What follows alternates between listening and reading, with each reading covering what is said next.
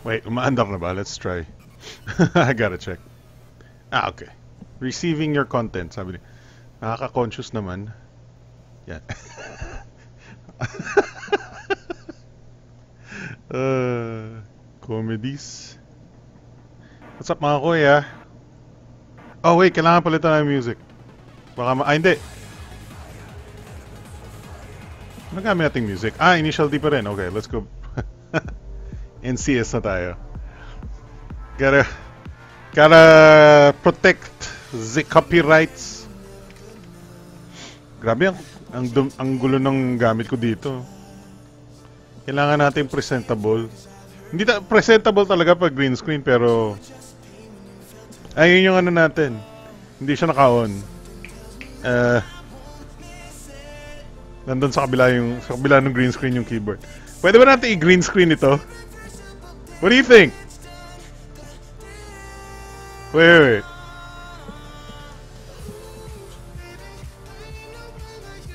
Eh, anong ginag anong camera to? Unboxing cam. Ayun, unboxing cam.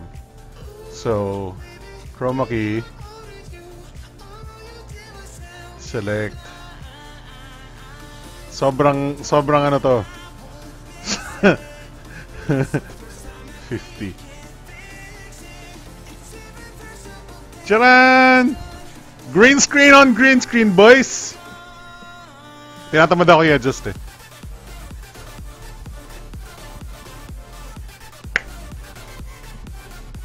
Uh, what's up, John R? What's up, Kuya Norms? Uh, what's up, Kuya Benson? Naku, da, ano nangyari sa, ano? Blink, uh, beeping, beeping si Kuya. Uh, Jim Carl Cerezo, what's up? Kuya Lionel? Eksakto ng live, nagtatlong beses DC ako kanina pa, visit ng PLDC. Actually, so, asan ba yung letter? Nandito yung letter eh. May, in, may information ba to? Itatakpan ko na lang yung information. Yan. Okay. So, ang sabi niya, dumating daw si PLDT para ayusin yung streaming ko. Ang sabi niya dito, nababasa ba siya? Autofocus. Autofocus. Sabi niya, unable to check your telephone internet connection because your home office unit slash room is closed. Andito ako buong linggo, ba bumabaha. Buong ligo ako nasa bahay. Kesa natutulog, nandito lang ako sa bahay. Papanong papanong pumunta sila unable to check your telephone internet connection because your home is closed. Hindi man sinabing you're out eh. Eh? What's going on, Koyas? What's going on, Koyas? Kailangan may Brit ano, uh, uh, Australian accent. What's going on, Koyas? So, dumating daw yung PLDT. Ano ba yan? Ang daming alarm ng mga tele gadgets ko. Ano ba yan? Um, dumating daw yung PLDT dito this week. Uh, two days ago, I think. 18 eh. Or 19? 18. Dumating nung 19. So, two days ago. 5 p.m. nakasulat dito. Paano hindi ako gising nun? 5 p.m. Thursday. Feeling ko hindi salga na. Mga tamad kasi sila. I love your cup. Thank you, man. Uh, asa na ba yun? Meron pang... Asa na yun? May label pa to eh. Ayun. Boom! O oh, ha? Ang comedy. uh, masipag lang sila maningil. Uh, bumalik lang sa Kokak GC camera stuff. Um, dami agad nasa chat. Ha? Welcome, welcome sa mga mga kuyas in the chat, no? Notice me boy says LH, is that your name? LH or IH? Ayun, nag-DC na naman. Naku po! Sa ulan yan siguro. I mean, I admit, hindi naman, hindi perfect ang... ang ay, grabe. Akala ko buhok. Um, maulan and mabaha. So I admit, pero hindi pa rin ano eh. Ah, duma- sabi nila dumating sila 5. Hindi ako naniniwala doon.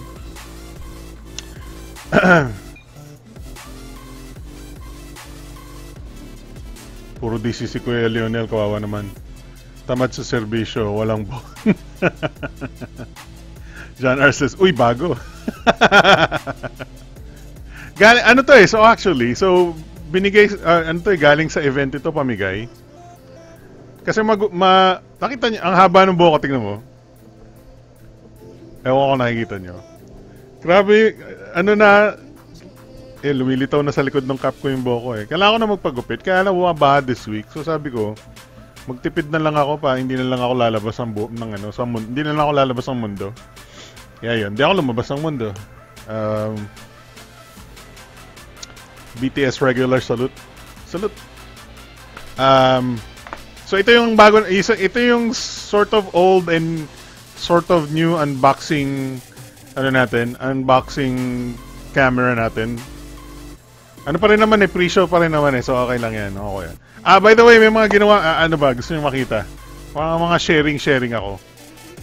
Ito, ito, galawin natin si unboxing camera. Ngayon yung ating alien, Alienware laptop. Andyan yan, yan. Meron lang siyang, ano, meron lang siyang dust, dust, ano, dust cover sa keyboard, kaya hindi, hindi, hindi maputi yung keyboard niyan, okay? Dust cover yan.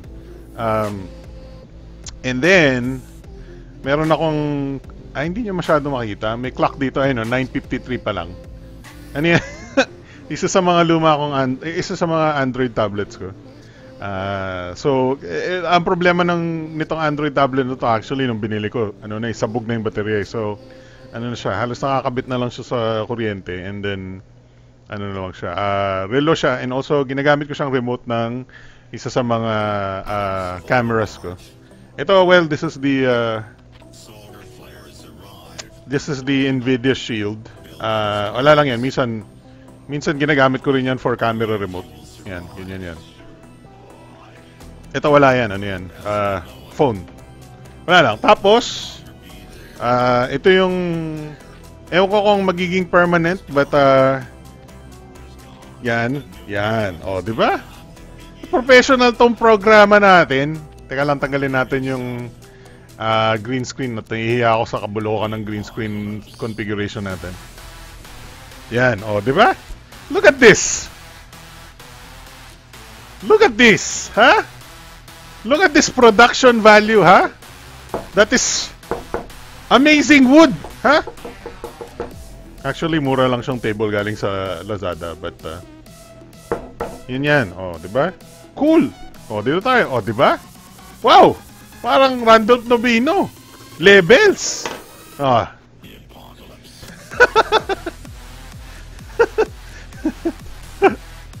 Ay, nako. Ah. So, ano ba? Kailangan ba natin mag-discuss ng topics? 9.55 no? Wow. Um, inom muna ako. So, ma magandang gabi mga kuya. Anong uh, Good PM po Sir Alex, maganda po ba ako Huawei Mate 9? Di ba last, last, ano ba yun? Medyo late na yun ah.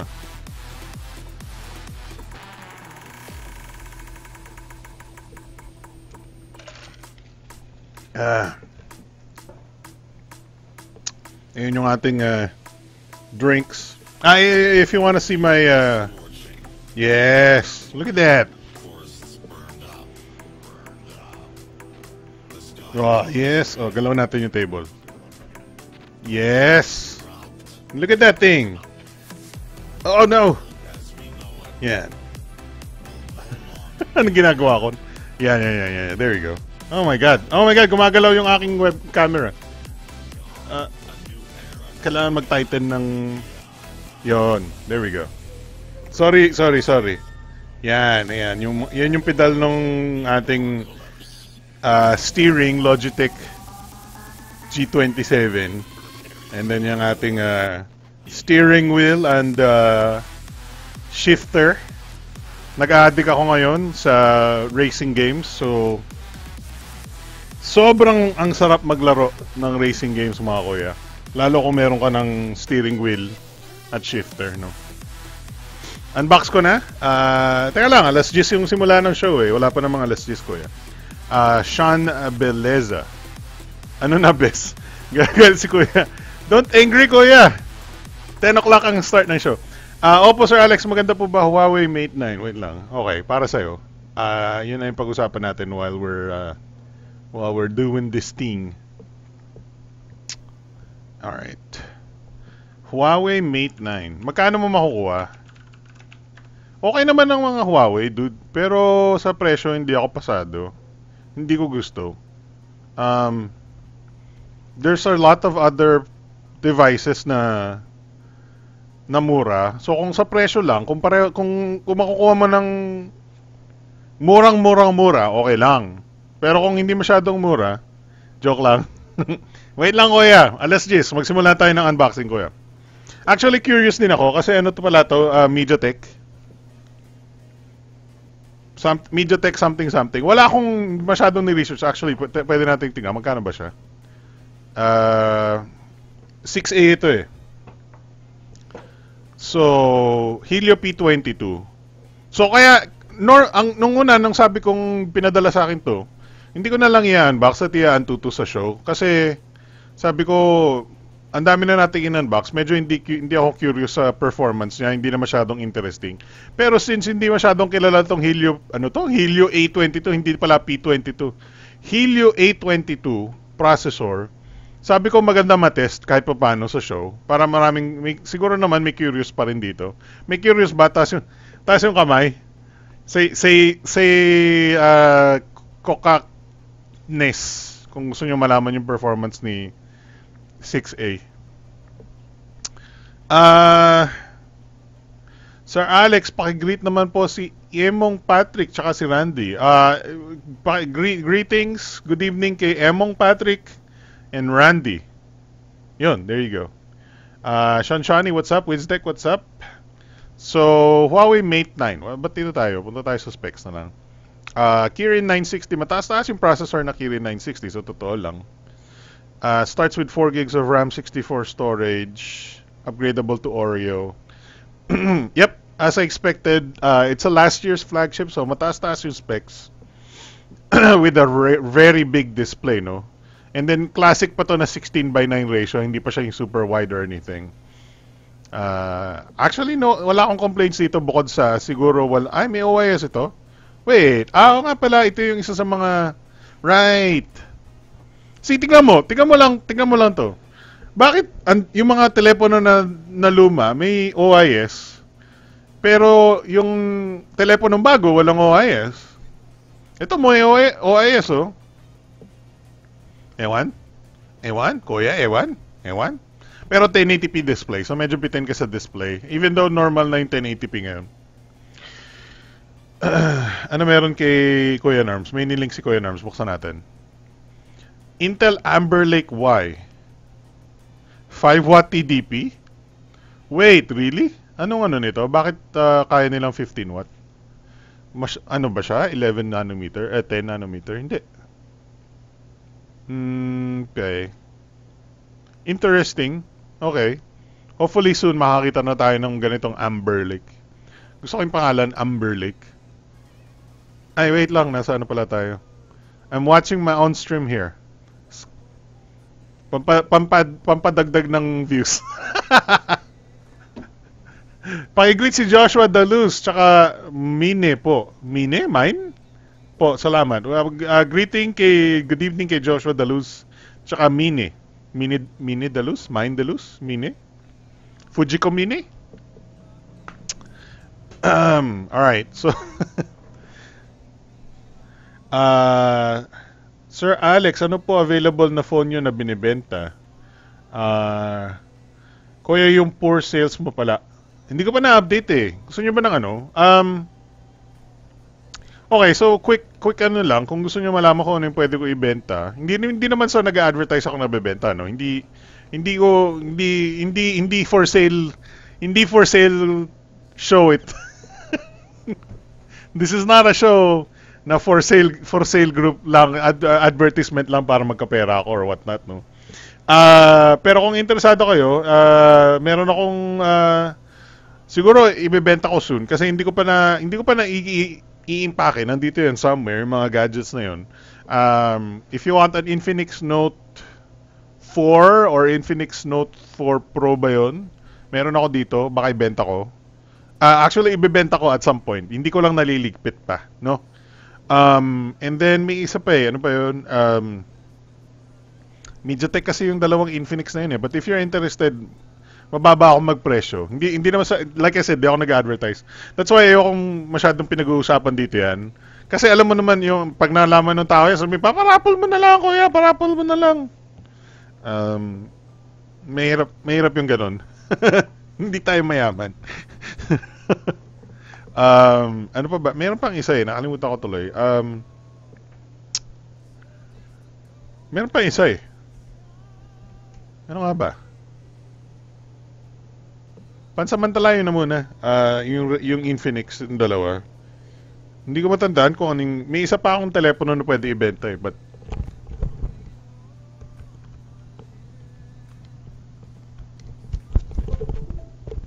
Yan, pariguro. Charge ko muna yung aking headset. Sean Beliza, Beleza, good evening po. good evening din sa'yo. Mine, oh. Inulit mo lang sinabi mo, Mine, Mine, Mine. ano yung binabasa natin? Huawei Mate 9. Yeah, if you can get the Huawei Mate 9 at a good price, okay naman. Wala naman ako reklamo. Pero kung hindi maganda yung price, hindi ako bibili. For example, may hirapan ka sa software updates kasi hindi siya Android 1 or hindi siya hindi siya well-known brand na nag-update ng phone sila. Um, pero in terms of build quality, in terms of design, in terms of camera performance, uh, magandang maganda maganda naman ng Huawei. Uh, expect expect mo lang talaga na may, may limitations yung brand, may limitations yung ano, and medyo overpriced at uh, nung na-launch siya. So the poor sales show. Ano bang pwede natin gawin? Do we go full screen, single screen, single camera, single webcam? Yan, full full screen, single webcam. Ang ganda, ang dami na nating ano. Alam mo ba, okay, so just in case you wanna know, uh, kung, kung natatandaan nyo last week, uh, nagkaroon tayo ng technical difficulties when streaming to YouTube because of a PLD, uh, and I figured out why. It looks like PLDT is blocking YouTube streaming for me. Hindi ko alam kung ang kailangan, kailangan ko i-testing for every, for more than one person eh. Yung sa akin lang kasi na testing ko eh. So, I can conclusively say, at least for my internet connection, naka-block yung YouTube streaming sa akin right now, directly to YouTube. So, as uh, same as before, same as last week, right now you are we are streaming through the power of me sending my data to another middleman server, a mirror server, and then bouncing it back into YouTube para makapag-stream tayo sa YouTube right now.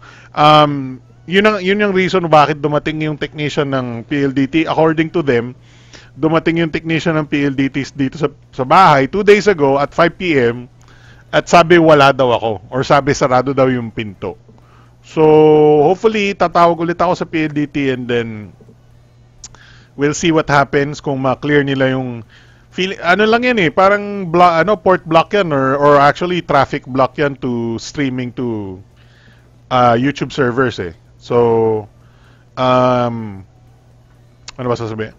So, ang potential niyan, ang potential niyan is i-unblock nila yon. If they, if they, if dapat gawin nilang i-block yon. Kasi for, I've been streaming to YouTube using PLDT for years.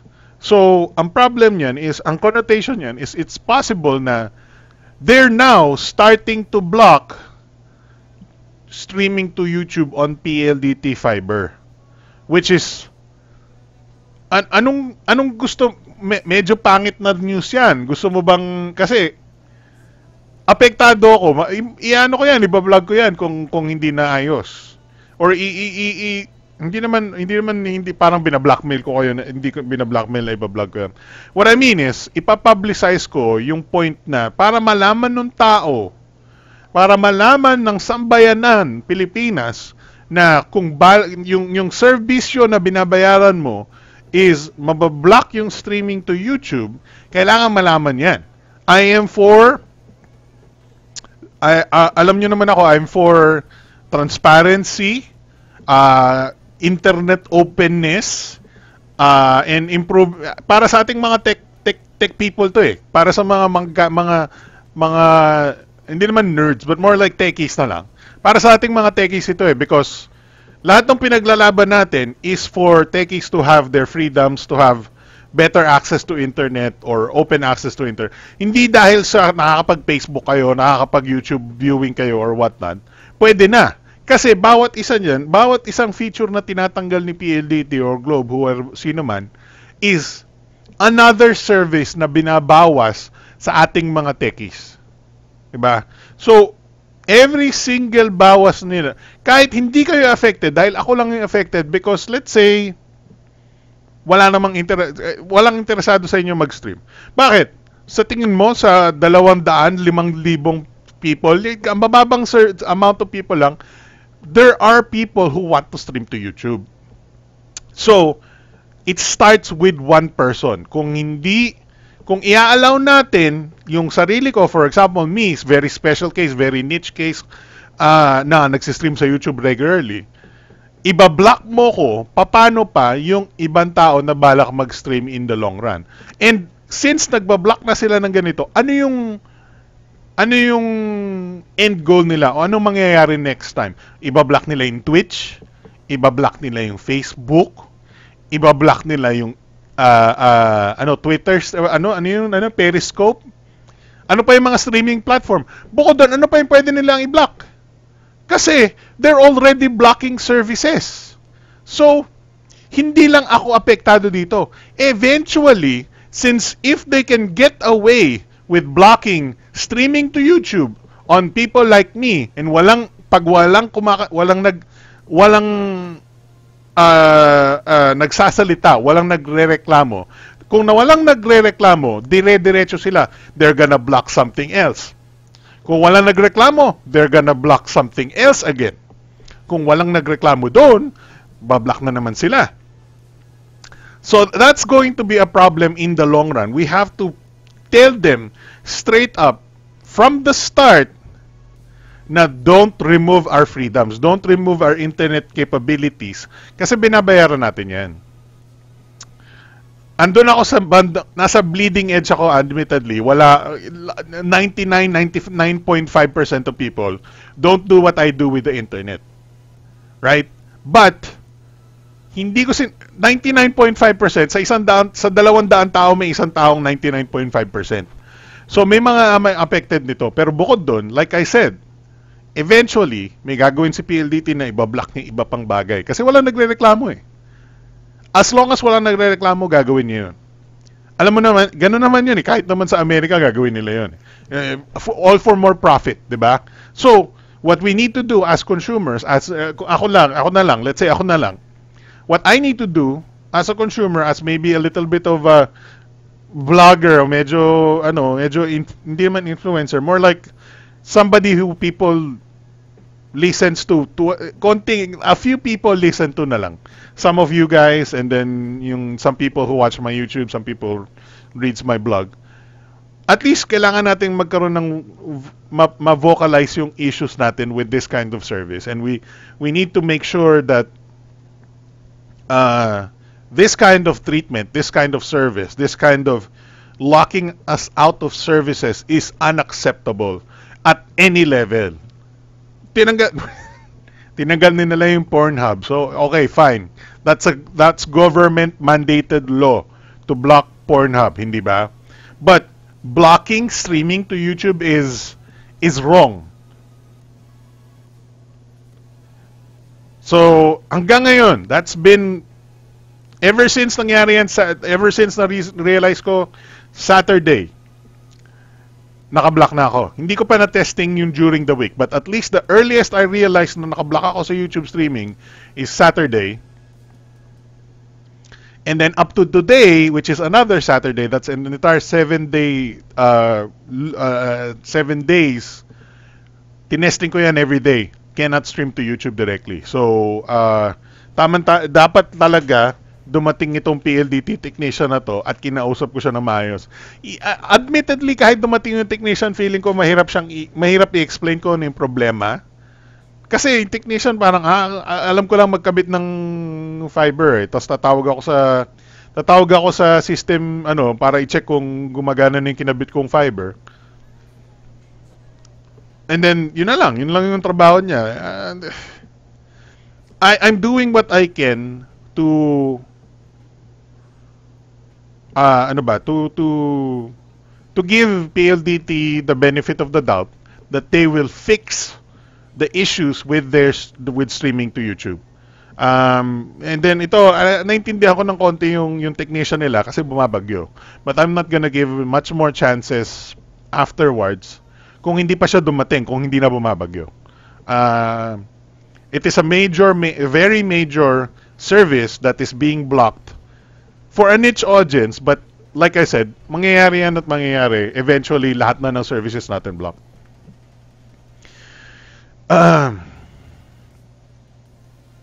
sad to say, saying ang ba- sayang ang badge. Ah, Sir Alex, ano po mga phone nyo say, ah, na, nabasa ko na yan. Pa- Patreon. Parang sa Sky Cable na kukuha ka ng plan.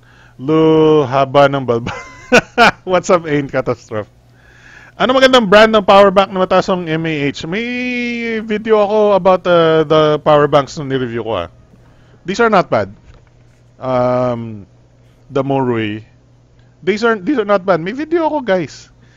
Sometimes you watch our YouTube channel, okay? Please. Please watch my YouTube channel. All right. Um, may power bank yung 2K milliamp hours or Jaguar na.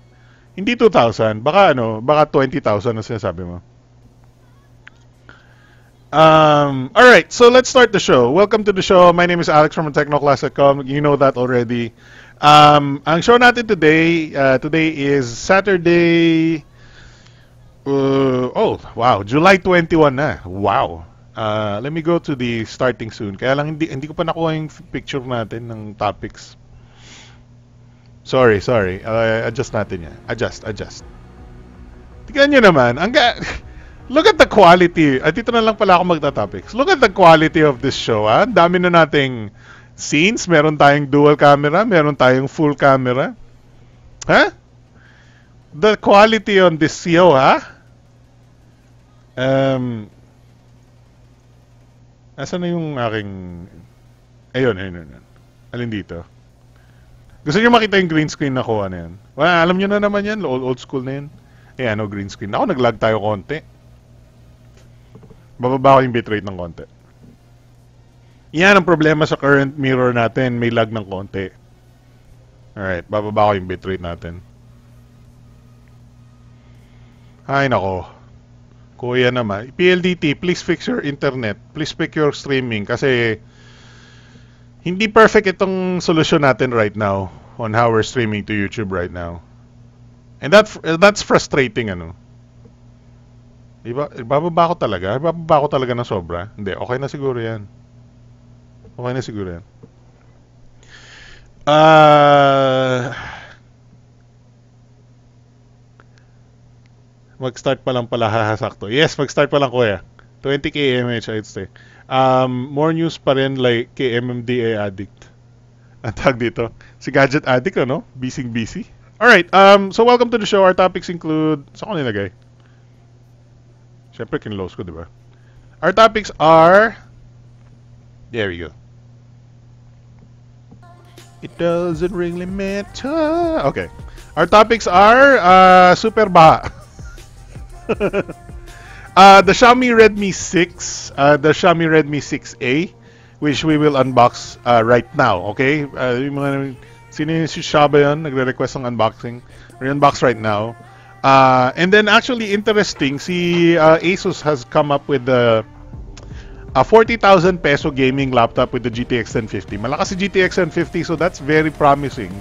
Um, ang, ang spoiler dyan is it uses ultra low voltage processor. So uh, it's not the full power processors for laptops, but it's still promising because sometimes you don't need uh, high power processors on gaming.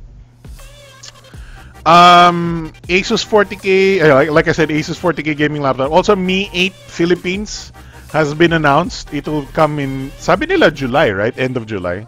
So that's another interesting thing kasi isa na naman, sobrang natatempt akong bumili nun eh. Um, how about Huawei Nova 3i? Hindi ba napag-us- napag-usapan, napag-usapan ba natin last week?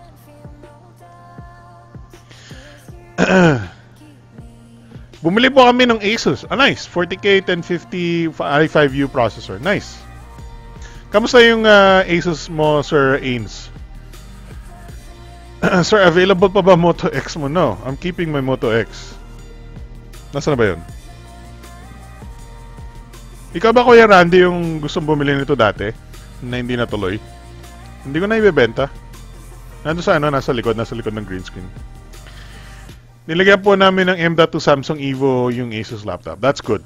That's good. Right. Alright, so other thing is Galaxy J8. Mag matitrigger na naman ako or maybe matitrigger kayo. But, uh, ganun talaga eh. Ako gusto ko sanang, uh, sa totoo lang, maraming fans ng Samsung.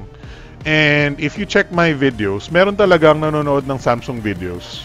Especially in the Philippines. Yung mga mid-range phones sila. Siguro, ang alam ko lang, feeling ko maraming ayaw mag, ayaw mag, you know, ayaw magsubok ayaw mag uh, alam mo naman medyo hindi sila masyadong techy and ayaw nilang masyadong uh, mag-risk ano kasi malay mo malayo sila sa malayo sila sa mall malayo sila sa syudad kung bibili ka ng telepono na hindi mo masyadong kilala like like sabihin na natin hindi masyadong kilala yung Xiaomi sa kanila kung sa probinsya nila or sa kung saan man sila nakatira wala silang kilala na Xiaomi for example alam nila may Samsung.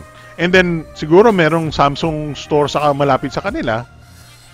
'Di ba? Isipin niyo 'yun. So, hindi masyadong there are people na interested pa rin sa Samsung phones even though dito sa ating medyo co- highly connected, highly modern, connected, very online world natin. Mababa yung specs ni Samsung. But we'll talk about the the specs on that later. So, yun ang topics natin for today. I believe meron pa tayong isa, the, the Nokia X6 ba yun? Um, which is the Nokia 6.1 ata officially. So those are the topics for today. We'll start unboxing na dito sa no, uh, Redmi 6A kasi alam ko excited na kayo. At least one person is excited. Alright, let's get to that. Keep in mind, ang unboxing medyo maraming boring bits because hindi siya lahat ano Uh, it's not always benchmarks and whatnot. Benchmarks. Tingnan nyo nga naman yung dual camera natin. Di ba high-tech? Um, DDR4 is expensive. Uh, 4 GB RAM po. Next time na po RAM ko lang sa budget. Buti upgradable siya. I didn't know it was upgradable.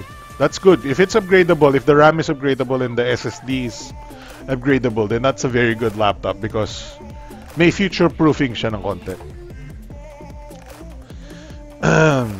Sir, magandang phone po yung gusto nyong ano? Sir, anong magandang phone po yung gusto nyong bilhin yung slot? Ako ba? Ako ba yung sinasabi mong gusto kong bilhin? Martino, hey, what's up? Si Kuya um, sa province namin Oppo, Vivo and Samsung Apple lang ang kila, kilala. Nova 3i. Uh, hindi ba, napag-usapan na ba natin yung Nova 3i? Uh, anyway, kung gusto niyo pag-usapan si Nova 3i, itanda ko na lang. Pag-usapan natin siya.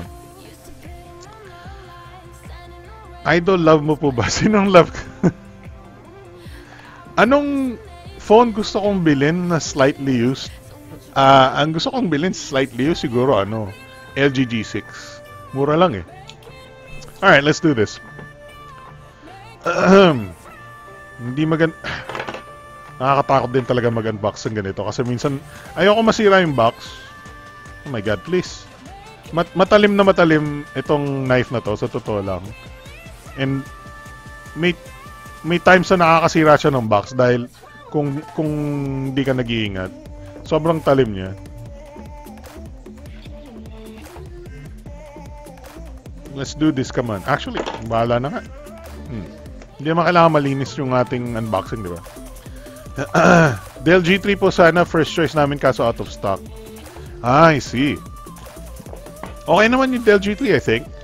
Mas maganda yung G5 and G7 although walang G5 sa Pilipinas. You know, that's how... Uh, uh, nakakatawa tong... tong knife na to eh. Sinubukan, uh, nag, nag, uh, pinag-aaralan ko pa paano siyang buksan at sara ng mag isang, mag isang kamay lang.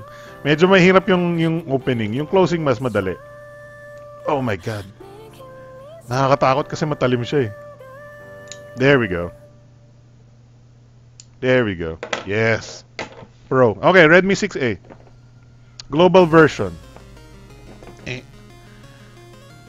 Nagfo-focus hunt ang camera ko. I know. Sorry. Gusto niyo bang i-fix focus ko siya?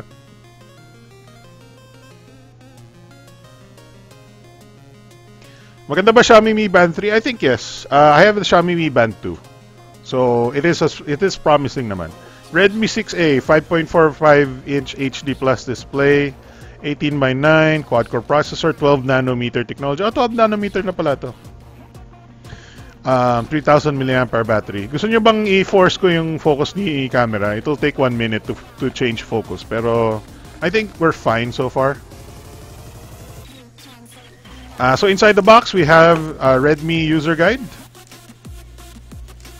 There we go. Iba talaga, ang ganda talaga ng packaging ng, ni Xiaomi. Kahit na sobrang mura. Magkano tong Redmi 6A? Redmi 6A is priced at Ah, ilang gigs to? 2 gig thir- uh, so 2 gig ano to? Anong version ito? Ilang gigs ito? Wait, come on. Ah, 2 gig 16 ito. 2 gig 16. So this is 5,290 pesos. So this is 5,000 pesos. Pero tingnan niyo yung packaging niya. Ang ganda. Uh, so you get this sim this whatever thing. Uh, yung charger niya looks like a slightly, uh, ano ba to? Bilogin. So kailangan mo ng konting adapter for this. And then we have the USB cable. Normal. And then we have the SIM eject ejector tray. Walang headphones, it seems like. Wala ata. Um, you would expect that kasi sobrang mura na ng ganitong gadget. So, don't expect headphones na, mga kuya. Alright, let's get to the phone. Sorry, tumatalikod ako kasi na dun yung nung preview ng camera. Alright, so here we go. Um, is this plastic or ano or bakal? It feels plastic, but it it looks bakal. So there's a warning here, do not disassemble this device nandito yung uh, uh, ano ba tawag dito? IMEI numbers natin. Do you think uh, so hindi na since may sim poker 3 siya um sim poker thing ang hindi siya talaga no. Ano ba yan? Daldal ko. Tama na nga yung daldal. Buksan na natin. Kailang, tanggalin natin yung sticker, no? There we go.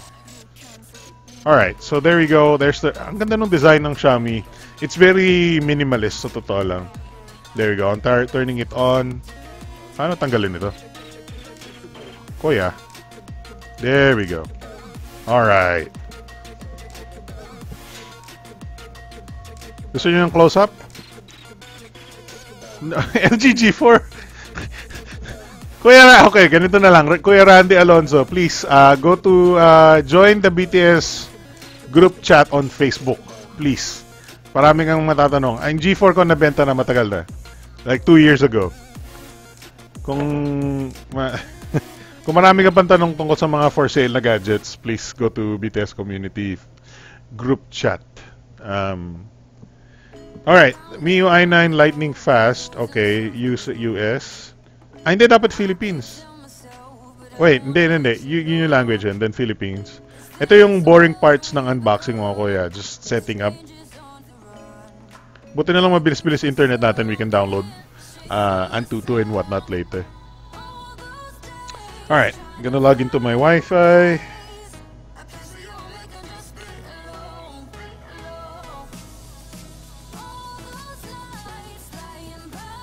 Alright. So it has rounded corners. Wait lang, tingnan natin yung ano. No. Terms and conditions, okay. Checking for SIM card.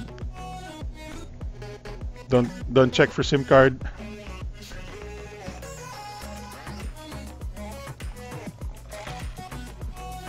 Alright, let's look at the specs on the Leno. Uh, so it has a 5.45 inch HD plus, so this is not full HD. Um, 18 by 9 ratio, 1440 by 720p resolution. Set up as new. So this is not full HD. It's 5.45 inch. So medyo mid uh, mid mid-range yung size ng display, no? Close up pa tayo ng konti. Alright.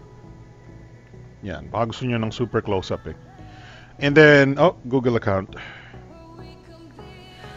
Normally, hindi na ako naglalagin but since gusto nyo ng mga Antutu score, maglalagin ako sa Google account ko para makapag-install tayo ng Antutu mga kuya.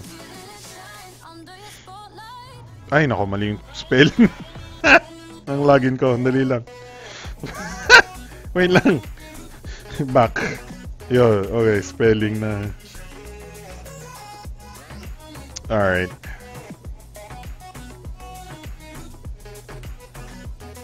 Chill lang kayo mga kuya. May Discord ba ang Technoclass? Wala, sir. But, uh, gusto niyo ba ng Discord? Sino nagdi-Discord? Ha? Let me know kung sinong interesado ng Discord, no? Okay, I need to check my phone for two-factor authentication. Yes. Allow? Ay, hindi allow. Back. Oh my god, maglalagi na naman ako. Choo-choo. Sorry. Next. Okay. Yes. Okay. Don't allow. I agree. Alright, here we go. Um, idol love mo po ba ako? I don't know. Are you attractive female? Paul sa FB question mark? Pwede, subu subukan natin. I don't know though. Hindi masyadong maraming PC gamers sa sa community, but I'll ask, I'll ask. We can ask. Uh, ako nagdi-Discord, sabi ni Kuya Norms. Pwede tayo mag-Discord, but I don't know what to, we'll use it for masyado. Are you gamers? Uh, Google Assistant, get started. Ay, dapat ni-skip ko na lang. Whatever. Continue. Done. Uh, ako po may account sa Discord pero weeb stuff lang sinalihan ko. Well, obviously that's that's typical bench. So this is why I usually don't do actual unboxings because ang, ang daming uh, ang daming chichipureche, especially kung Asus phone dati, puro updates kasi si Asus puro bloatware dati. Oh my god, Jesus Christ, just let me use the freaking phone! God! Skip! Skip! Skip! Uh, set password. Okay, so wala tayo, looks like wala tayong fingerprint, no? Uh, screen lock. Yeah, it was screen lock, no? And, yep. Yep. Yep. Uh, choose a theme. Default. Finally! Jesus Christ!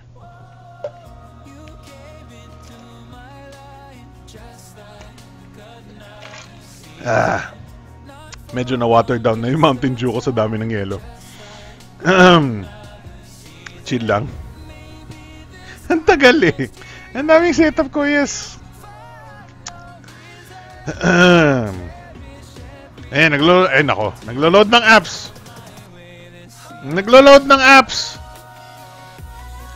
Daming bloatware yung Zenfone Max. Yeah, thankfully yung mga bagong Zenphones wala na masyadong bloat ko, yeah. But uh, pre, t- nakaka nakaka sakit pa rin ng ulo yung dating Zenphones as, as far as far as bloatware is concerned. Buti na lang nabawasan na sa modern models ng Zenfone. Yes, indeed.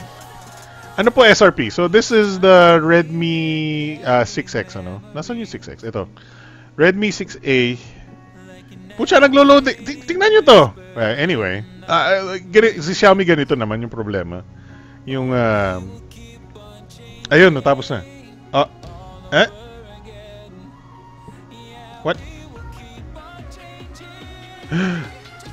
Come on, please. Ano nangyari? There we go. Jesus Christ. MediaTek, yes. It is a MediaTek A22. Um, paano ba natin yan, no? Sh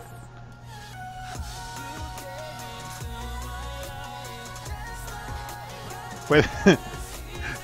Ayo. Hindi ma masyado matrabaho. Gusto ko sana ilagay yung, yung ano yung specs sa screen eh. Kaya lang masyado matrabaho ko yun. Subukan natin. Wala lang. Trip lang. Uh, Video capture device. Okay. Stream engine. Bakit te- 720p lang ba yung stream engine ko? Palpak. Wait, 720p yung stream engine ko? That's not good.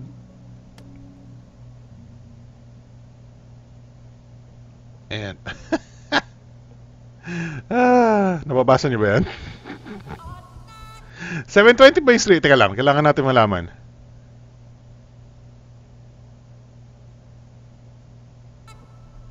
Ito, okay. So, tignan nyo tong text na to. Is it high quality or hindi?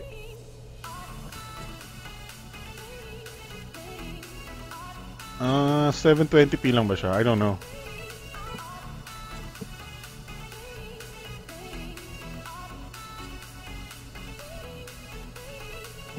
Parang malinaw naman siya, no? Ah, malinaw naman. I think 1080p pa rin. Okay, good. Alright. Eh, sorry, sorry. Na-distract tayo ng konti. There's the specs if you wanna see. Um, galing sa Yuga Tech, no? 822, 2 gigs of RAM, medyo bitin.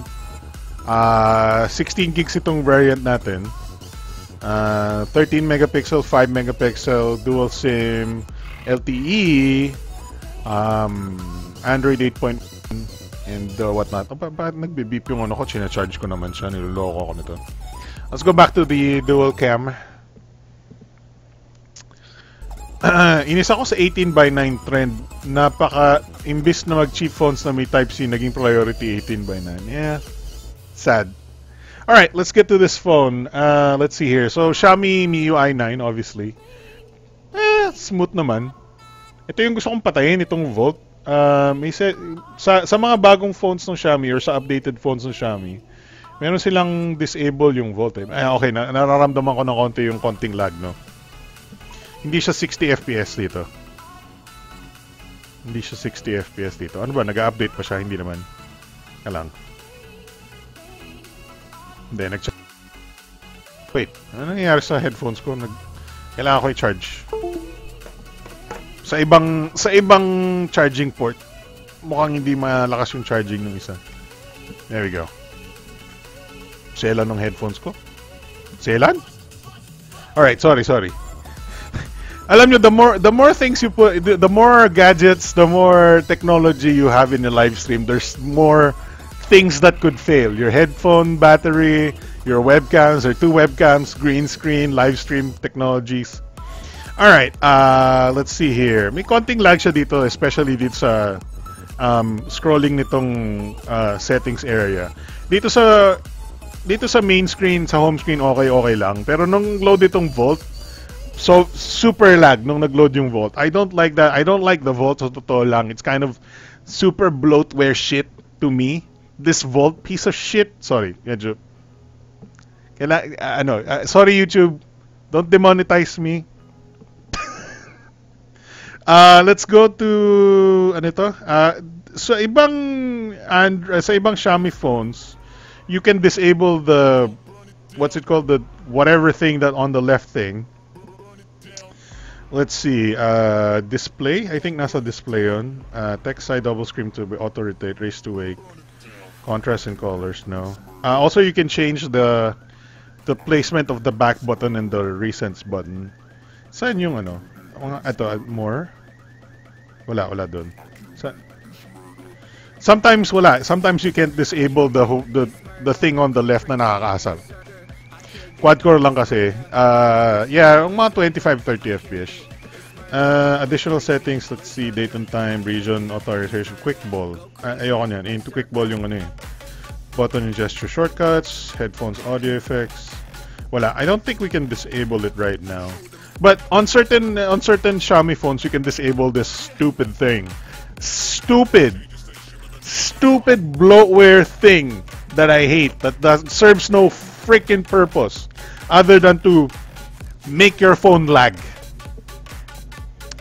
Um, all right, so we have the typical Xiaomi user interface dito. Uh, no, no, no app drawer. So lahat ng apps mo nandito sa home screen. Uh, if you want, you can do this. And then meron ka ng app drawer. Yay! Fake app drawer. Uh, I called it the Kokak drawer. I just put all my other apps in there as my fake Kokak drawer. Anyway, uh, relatively smoothish naman itong home screen. Except pag balik mo dito sa ano, ang tag dito? I forgot the name of this piece of crap na nasa ano natin. But whatever, that thing, it's laggy. Um, the the display is decent size and decent quality, I think. Yung viewing angles niya, I think, is not bad. It also has yung uh, rounded rounded display corners na uso ngayon. I don't know why. Um, and then, meron ba siyang notification LED na nakita ko or IR LED yun? The build quality is pretty good. Uh, very uh, honestly for 5,000 pesos this is you know yung build quality ng Xiaomi is one of the top top build quality um, for for 5,000 peso phones. Um, oh yeah, mag-install tayo ng Antutu while we're waiting ano. So I'm just to install Antutu. Uh, Antutu score. Ano? Uso pa ba Antutu? Uso pa ba si Antutu? Alright, installing na. Installing. Si, uh, natatanda ko yung mga live stream ni B-Boy, isang, isang oras kalahati kasi lahat testing sa live stream. Alright, so we're now installing Antutu. Nagda-download na siya. Sandali lang yun. Doesn't gonna take, it's not gonna take much longer. So the build quality is very nice. We have the micro USB port, head, uh, microphone right there. Uh, tatlong ports at uh, tatlong slot sa kaliwa or dalawang slot sa kaliwa which has one SIM, another SIM, and micro SD. So you can put in two SIM slots, uh, two SIMs, nano, and then one micro SD. So that's a total of three cards. So very nice for this kind of price point phone. You get three cards inside. Uh, power and volume uh, buttons are on the right side. You Yun naman. Okay naman siya. Decent, decent click.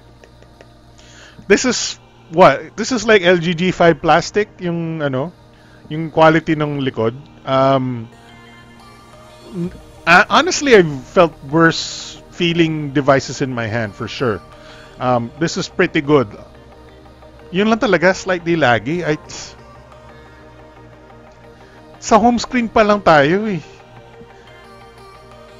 Um, alright, let's go to battery and performance. Let's see if we can uh, maximize this thing. Wala. Saving power in the background. No, no, no. Wala siyang, wala siyang, wala siyang parang performance mode or, or uh, battery saving mode. No.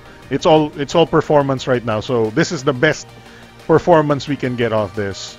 Plus, it only has 2 gigs of RAM and 16 gigs of storage. So, mm, Alright, let's do Antutu. Oh my god, nag-launch siya? Ah! Ang bagal. ah, lag! Nakita niyo yun? Jesus Christ! This is not for me, boys.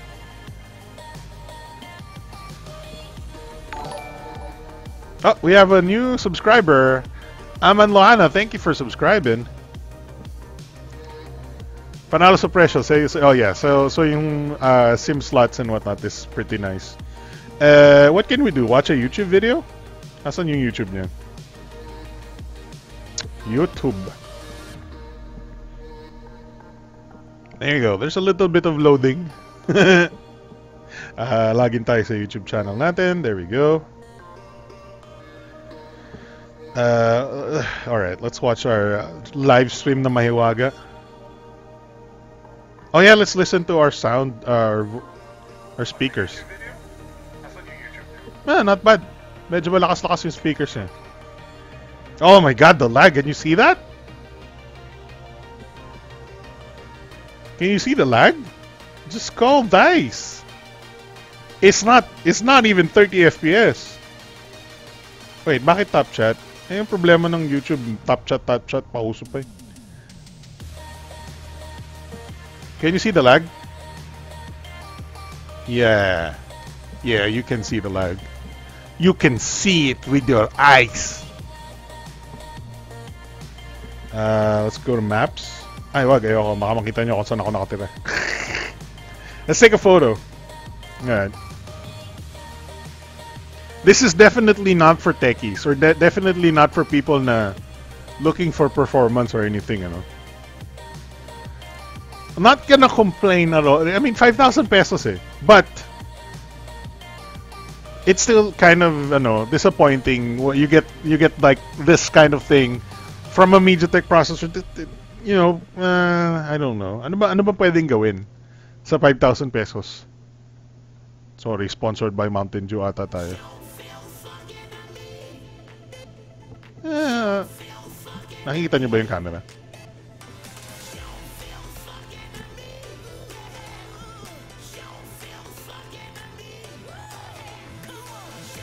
And selfie tayo.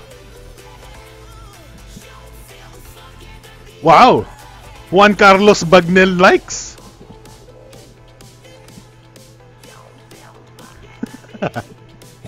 uh, let me see those photos sandali.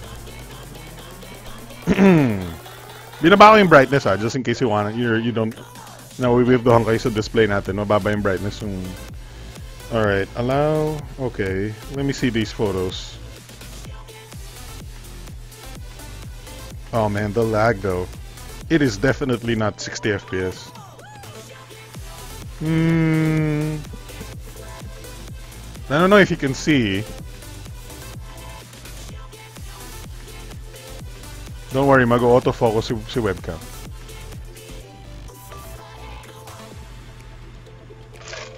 Mag-autofocus si webcam, maybe? Maybe? There we go. There's my selfie. I don't know if you can see if it's quality or not. Eh, it's not bad, but keep in mind, it's not excellent in quality, but keep in mind, malakas yung bright ng, my, my lights here in, in my quote-unquote studio is very bright, okay? So, i- it's not, it's not low light at all, this kind of photos. Look, at look at that, Juan Carlos Bagnel. Alright, let's look at Mountain Dew. Eh, actually, the photos aren't bad. Photos aren't bad, but you have to have lots of light, you know. These are not the these are not the worst photos I've ever seen. Yeah, you can even see some strands on my hair, on my beard, my beard. Not terrible. Not terrible.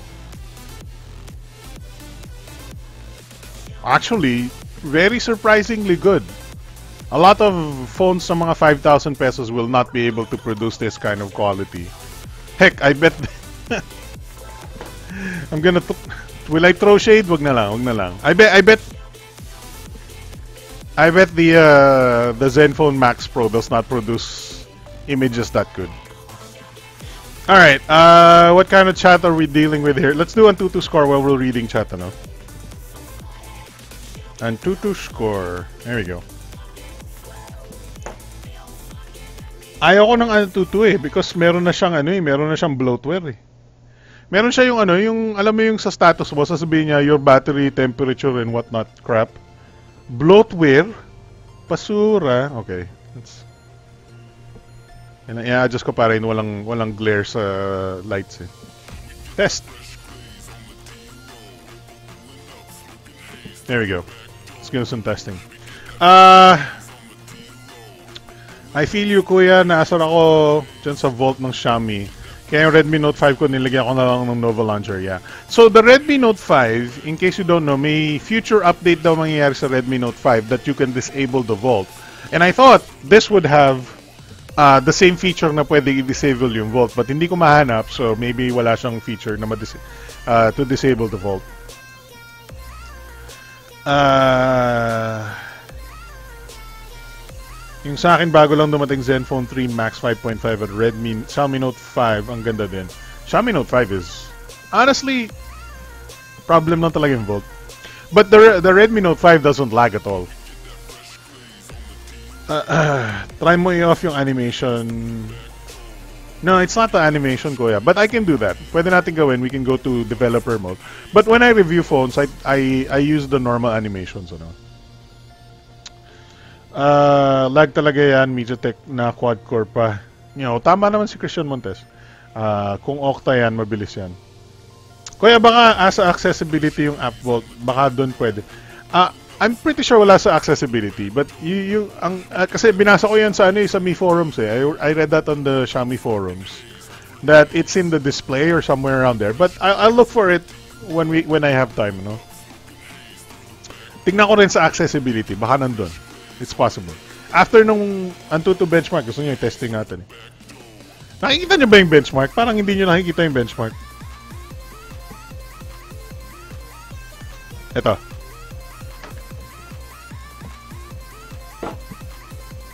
Eh, sa- sabi ko sa inyo, high quality tong live stream na to eh. Ah. Oh, ha? Hindi hindi lang basta-basta tong BTS na to. We have production value, Koyas. Ha? Production value. Um, feel ko yung lag, sir. Nakaka-trigger din. 60k ang tutu says Wistec. Uh, Samsung A527. Oh, should we try PUBG Mobile on this thing? Should we try PUBG Mobile on this thing? Samsung A5 2017, maganda pa rin po ba? Uh, A5 2017? Probably not. Probably not. Uh, let's see. Yeah, it's the it's the 7880 Octa. Oreo. Unless you can get it for a really low price, I wouldn't suggest it. You, there's so much more better phones out there na na bago. So, hmm.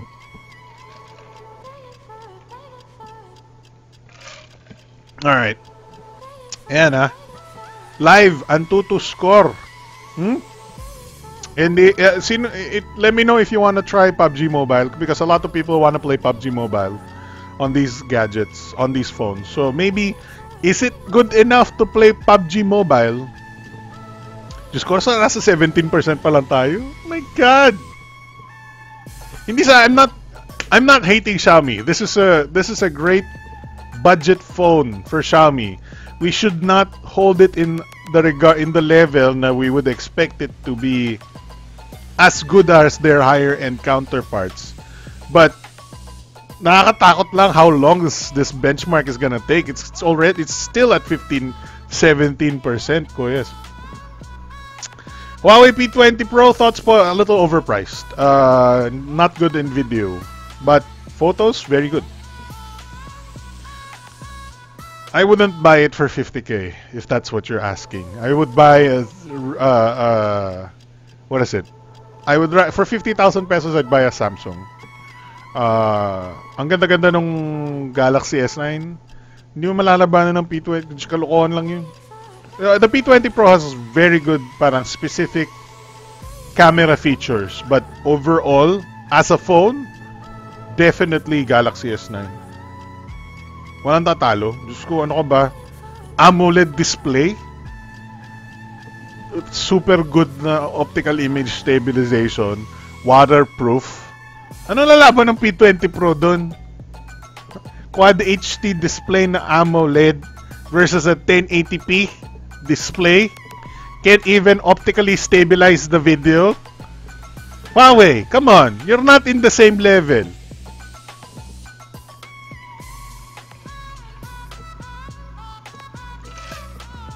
We're getting Antutu score predictions na kaya lang matagal pa to. It's gonna take a while mga kuyas. Mm. Yan ha. Close up na close up na kayo ha. Ha? Hindi tayo Colgate. Close up. Zing, ang ganda ng joke ni Kuya. Grabe, tam number one. Pang ano, pang, pang local TV. so, ano nga ba mag-usapan natin? Ang tagal nito eh! Oh my God!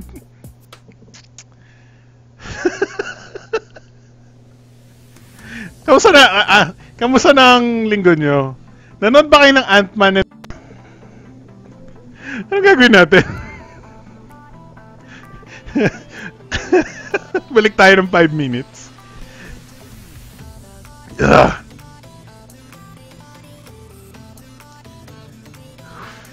Alright.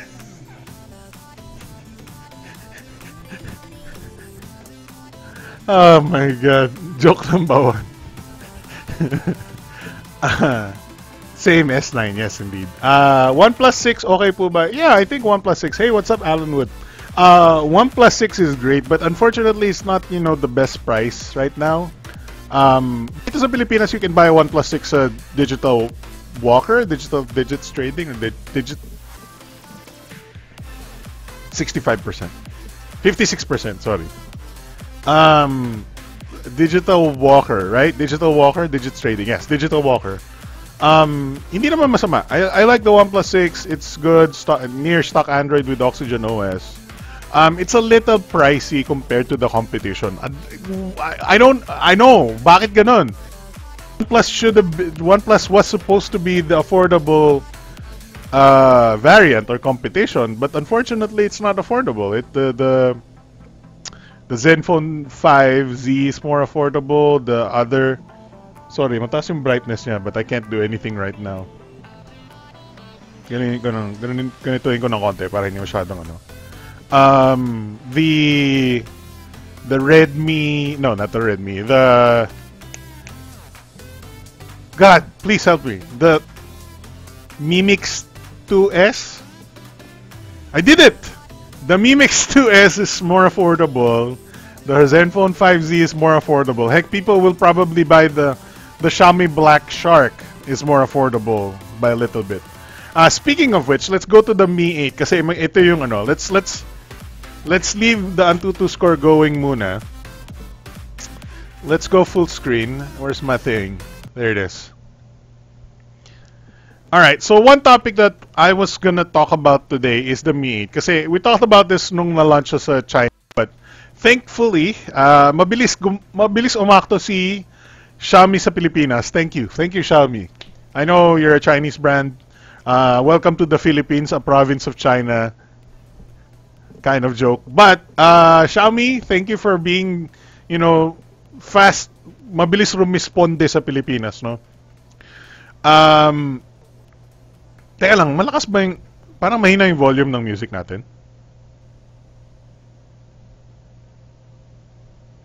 Nahiya naman ako. Masyadong matahimik ata yung music. Alright, so, uh, Xiaomi Mi 8 to be available in the Philippines in July. To, July ngayon! 10 more days matatapos na yung July. Wow, hindi ba 4K ang stream? What do you mean? It's 1080p. Nagrereklamo yung battery ng ano ko, ng headphone ko. Hindi ko alam bakit. Naka-charge naman siya. Um, so, anyway, uh, Mi 8 will be available in the Philippines in July. That means it's gonna be available soon. Like in, in, in 10 days. Uh, so, the Mi 8 is literally their newest flagship and basically any Mi brand, uh, Mi 7, Mi 6, Mi 5 is a is a flagship. So, a Mi 8, I think that was part of my beard. Um, hey, Techno Scriber, what's up, sir? Uh, so, Mi 8 available by the end of July, and then we're looking at some pretty high-end specs. This is very high-end. At least the processor is the top, no? Top model processor, Snapdragon 845. Here's the specs right here. Uh, galing kay Yugatech. Wala kasi tayong sinulat na article. Yet. Ang mostly ang reklamo ko dito is uh, the 1080p display. I know uso pa rin ng 1080p ngayon, so let's let's just I'm gonna forgive them for the fact that uh, they're using a a 1080p display. Um, but uh, if they could have made it a quad HD, it would be I would send the phone over the top for me. But right now it's 1080p. As you can see, it's a 2248 by 1080 AMOLED display. So that's nice AMOLED. One thing about the Mi 8, in, maybe you don't know yet, it has the the same IR blaster, the same face detection sensors as the uh, iPhone 10. Um, so it's a very advanced phone. It's super advanced. I think it's the second phone in the world to have the same uh, IR blaster sensors as the iPhone. Wait, ito wait, tama 'di ba? Or yung ano ba yung SE lang ba? I forget. Anyway. Yeah, AI scene detect. Wait, tingnan natin. Uh, alin ba yung alin ba yung may IR detect? Hindi ko na matandaan. Wait, let's Gusto, kailangan pa ba natin i-research 'yon? Ah, uh, sino nang hula ng scores ni um, ni Mi Mi 6A? Redmi 6A. There's your score. Natawa ako sa nakasulat. So, mabasa. Nababasa niyo ba yung nakasulat? Ah, natawa ako.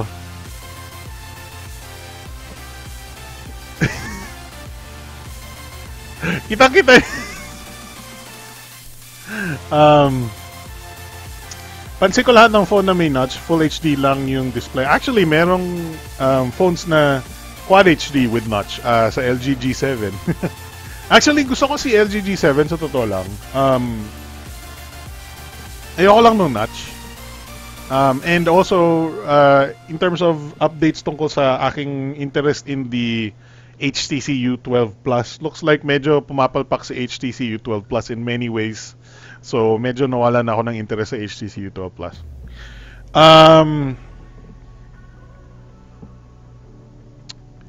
Advanced Mi 8 mag-isip. Mi 8 Explorer. Ay, hindi ba yung ano? Okay, so baka walang face recognition. I don't know. I don't remember anymore. Peke, na, peke ang score. Alright, so apparently this thing scores 60,000 points. Pero nakikita niyo ba yung nakasulat na fine print? Defeated 2% of users. that is so low, bro. 2%. That means mas mabilis lang siya. It's it, out of 100 phones, it is the second slowest phone or the third slowest phone out of 100 phones out of all Antutu scores. The third the third slowest phone out of a hundred out of a hundred phones tested third slowest parang parang out of a hundred countries Philippines level. Ah, sorry. Philippines number one. Sorry. Sorry, sorry naman. Um, let's install PUBG. Oh boy. Uh, alright, let's do this. Uh, ang bagal, pati yung home screen naglalag. You should have seen that nung pagka-press ko ng ano, ng home. Wala nangyari. Ah. And then nag-load yung love. Sorry, I shouldn't laugh. I shouldn't laugh. This is an affordable phone. Holy crap. I shouldn't laugh. I should not laugh. Alright. Um, hindi optimized ang software niyan sa ngayon bagong release. Sakit ni MIUI yan. Uh, Princess Taya, mabangis sabi ni Sean. Uh, successor yan ni MT6713. Mababa mababa talaga. I have to admit, it's I, I did not expect it to be this low. Um, but Jesus Christ, you know, um, wala tayong magagawa. I mean, affordable is affordable. We can't do much about that. But dang, dang, dude. Um, very, very tough to recommend uh, when it comes to kailangan ko i-adjust yung display settings para hindi siya mag-turn off. Wala siyang fingerprint scanner, wala siyang what, 2 gigs of RAM. Eh, it's a little tough to recommend.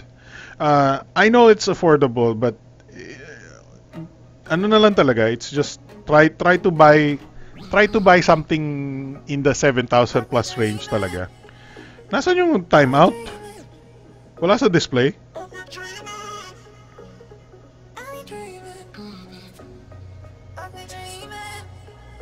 I nothing against Xiaomi at all. I love Xiaomi as a brand, as their products. I still have their Redmi Note 5 here, which is an excellent phone. An excellent phone. Automatic bright. Nasaan yung ano? Nasaan yung timeout?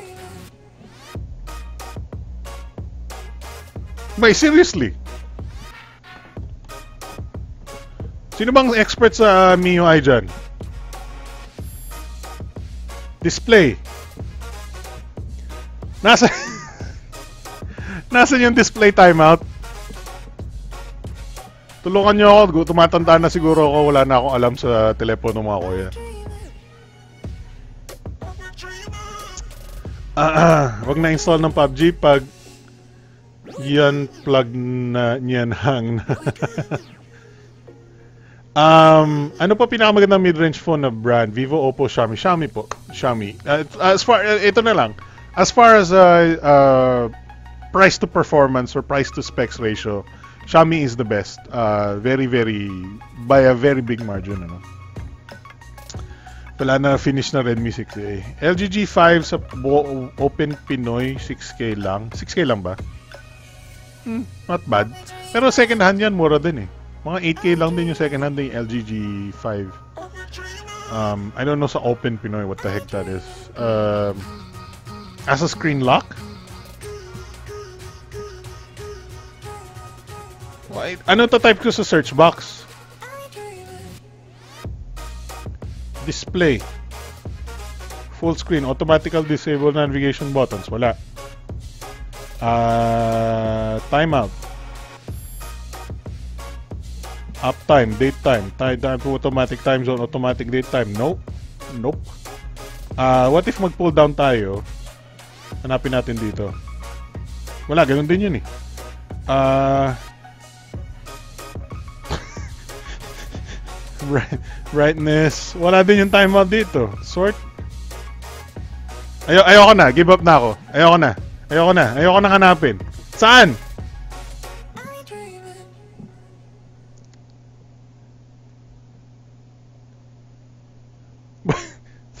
Saan nilagay?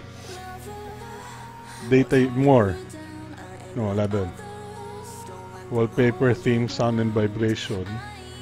Full screen display. Wala doon eh. Ayun, yun, yun, yun. Kailangan ko yun. Tanggalin mo yung mirror buttons. Gusto ko sa kaliwa yung back eh. Uh, battery and performance. Wala doon. Additional settings. Quick ball, button and gesture, notification light, yes. Turn on, okay. One-handed mode, accessibility. Tingnan natin kung nandyan si ano. Game speed booster. Uh, security. Display size default. Magnification. Large mouse pointer. Touch and hold, mono audio, high contrast, color inversion. Wala. Nakikita nyo naman yung ginagawa ko, di ba? Nakikita nyo, nak naka-focus naman siguro siya, di ba? Me account, sync, system apps, installed apps, dual apps, permission, system apps. Na... Am I blind? Nasaan yung ano? Sleep? Sleep. Lock screen, password. Oh, what the hell? what the heck? Ayoko na! okay lang. Hindi, okay lang. Sorry. Hindi ko lang alam na nasa lock screen. Thank you, thank you, Sir uh, Jim Card. Uh, thank you, uh, Juan Isaac, Ur Ursua, and Christian Montes. Thank you. Sorry, hindi sobrang hindi ako updated, I guess. Uh, true ko ya, best bang for the buck phone ngayon ng Mi Note 5 AI. Excelente, sabi ni Christian Montes. Ah, good evening MP Simon. Sorry, sorry na natagalan tayo doon sa pagganap ng sleep na. All right, um PUBG. Yun, there you go. It's installing. We're a glutton for punishment. May da-download pa yan after siya mag-install, no? Um, so, bigyan, bigyan, honestly, I think, you know, the design is very nice, no? Um, minimalistic, decent colors, it's metallic but it's also plastic no? It's not not the worst phone in the world for 5,000 pesos. Yung processing lang talaga is not the best.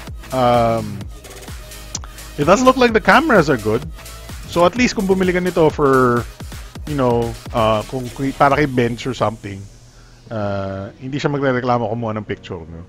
may mga attraction mga ahigaw niya Alright, um, yeah, still waiting for that. You know, sometimes ganyan talaga yung mga phones. Minsan, kahit nag 100% na, marami pa rin ginagawa in the background para ma-finish yung install. Wala tayong magagawa dyan. We have to wait. May questions ba kayo dito sa... Ay, gusto niyo bang check yung ano? Yung sensors niya kung meron siyang G GPRS tuloy yung nisip ko. Let's install... Let's do a quick... Um, ano to? Sensors. Sensor box. I know hindi ganun ka-importante ito ngayon, but at least for budget budget-minded people, hindi, uh, medyo gumagamit pa rin sila nito. And sometimes sensors are useful, no? Yung mga ambient light sensor and stuff like that. Nova 3i or Samsung J8. Um, ano ba specs ni 3i? Napag-usapan na ba natin yung 3i? Hindi pa. Anyway, um, like I said, after after nitong tapusin natin yung unboxing and then tapusin natin si Mi 8, tapusin natin si Redmi 6 which is sandaling sandali lang after the unboxing kasi ano lang yung specs lang yun eh. And then we'll talk about the J J8 and the the 3i. Sensor box. Nag-install pa rin. Sometimes it's the processor kung bakit mabagal-bagal yung pag-install but eh, what can you do? Yan. Oh, ganda ng production values ng BTS talaga. Professional. Professionally done. Um, tingnan natin. Uh, gusto ko i-research yung Mi 8 ng konti.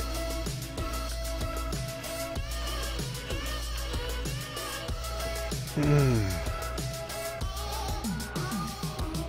Wala pa lang Mi 7 kasi nga pala un- unlock yung 7 sa ano sa Chinese. right, so 99 score si DxO Mark ni Mi 8. 3D face recognition. O, tama ako! Wait, tingnan natin yung website. May 3D face recognition siya. Ha, tama ako. Ha!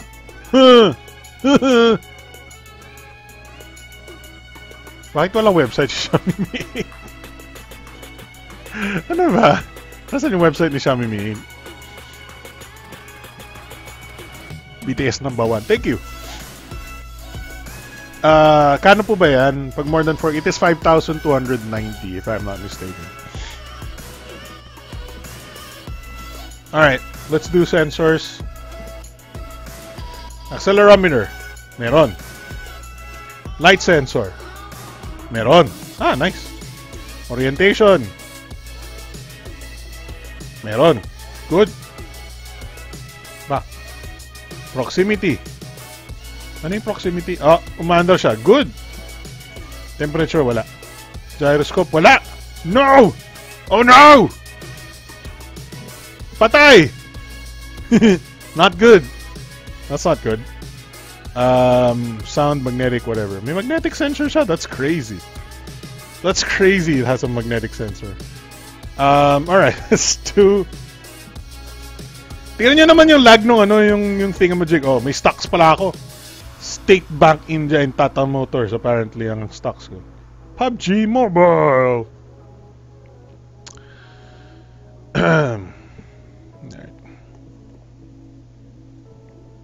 there we go. Tencent. Um, hindi naman sa unlocking. Ang alam ko kaya nila skinip si 7 dahil malaking improvement mula sa Mi 6. No, hindi pa, pa pero ano malas yung 7 na number, 'di ba? Sa in Chinese uh, ano ba, um, bagsak kaya walang gyro MTK pa. Yun nga eh, unfortunate. Um, medyo unfortunate nga. And, ah, sad. Let's go. Habang naglo-load si PUBG, no? Let's talk about the Mi 8 muna. So, tama ata ako. I'm pretty sure na merong um, face recognition 3D sensor si si Xiaomi Mi 8, right? Asan ba yun? Saan ba na? Basta anyway. Um, so it has a 1080p display, 845, Snapdragon 845, 6 gigs of RAM, and I think 64 gigs of storage yung nandi sa Pilipinas or whatnot. Uh, 4-axis OIS, image stabilized, two, two 12 megapixel cameras sa likod, isang 20 megapixel camera sa harap, uh, Napag-usapan na natin to a few times. Ano? May fingerprint scanner, maganda yung quality. DxO mark is very high, 99 points total. 3,400 mAh battery with quick charge 4.4 plus, which is crazy kasi quick charge 2.0 pa lang yung battery charger ko. And I think it comes with a quick charge 4 plus charger sa box niya. So that's very nice.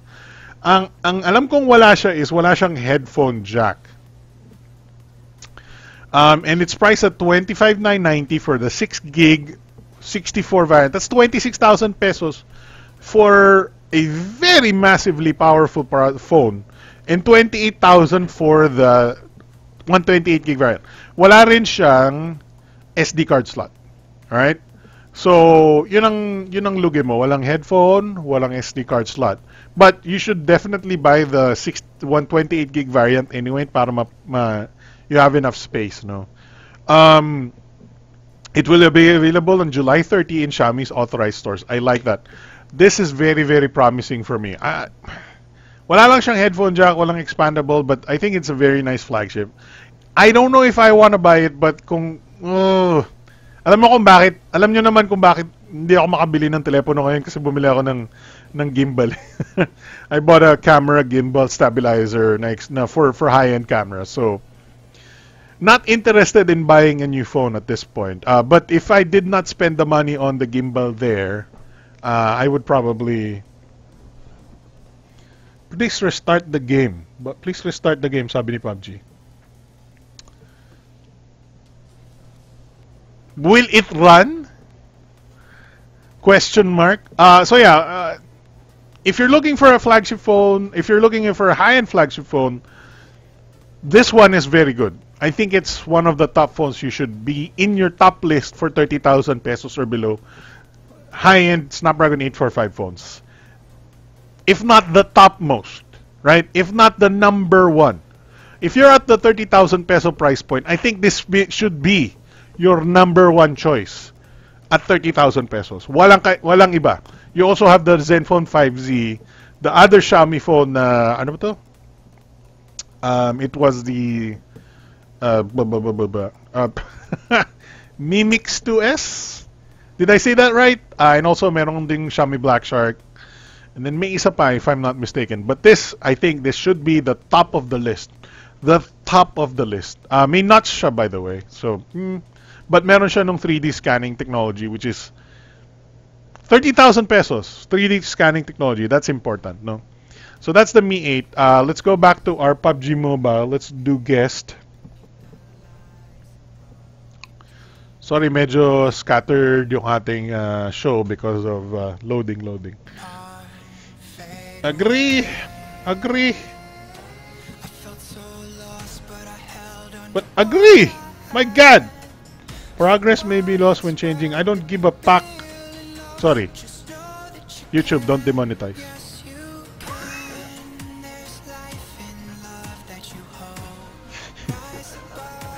YouTube. uh, please adjust graphics and screen settings if you experience issues, blah blah blah. Region Asia, Jesus Christ, come on, okay. Boobs lady, go. Create. Create. Please. Please. Okay, walang name. Uh, uh, lag. Lag. Po. Ako. Ah, amo. Ako. Lag. Po. Ako. Check. Create. Ay, hindi. Dapat LOG, log. Um, yung Mi 8 Explorer Edition is the one with the facial sensor similar to the iPhone. Oh no, okay. Baka mali ako. Uh, does not have it. Infrared scanning. Uh, Mi 8 is infrared scanning. Mi 8 Explorer infrared scanning plus 3D dot scanner. There you go. Thank you, Mr. Uh, Sir Wiztech and Sir uh, Jeffrey John Burnett. Uh, Ursua says, yan po ba yung may notch? Walang notch ito. This is just 18 by 9 ratio. Uh, ang preference ko, may notch o wala? I prefer walang notch. Uh, that's why I was so interested in the HTC U12 Plus. Eh, mas gusto ko nga yung, alam mo yung, ayoko nung, ano, nung rounded corners na display. I like full edged corners, as in edgy. Edgy ako eh, edgy. Uh, 7.6mm has no headphone jack. Me, my phone, 7.3mm has headphone jack. um, rookie, uh, experience. Para what whatever. Whatever. Just let me play, please! Come on! Spec requirements, low. Gusto, anong gusto yung spec requirement? Low na lang. Got it. Okay, fine. Just let me play. Ah, ah just let me play. God! Please! I don't care! My God! Buti na lang hindi siya yung mga games na... Yung pa- paano, yung, pa, pa- pa- paano pa yung games na may 20 minute tutorial? Hey! Please! Use... Uh, hello, what? Puta ka! Ah! Just let me play!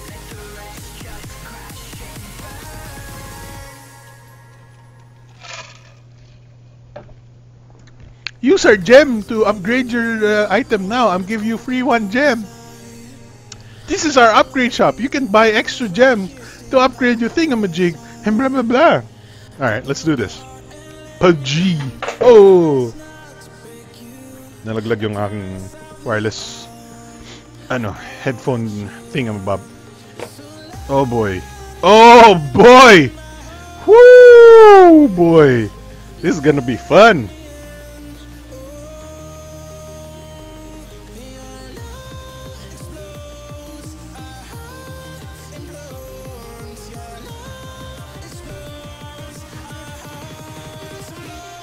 Yung speakers na. Boy oh boy!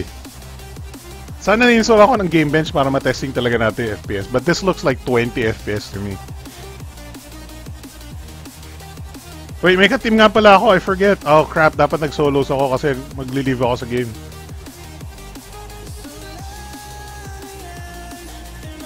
May target si Lakoya. Ano ta? Ano pangalan? Oh my god, the frame rate. Diyos ko, die! Actually, mag... Makipagbarilan ako agad para patay ako agad, no? Tinarget nila Rosok, bakit kayo mababa agad? What the fuck? Oh god! Oh god, the frames! I can count it in my fingers! The frames!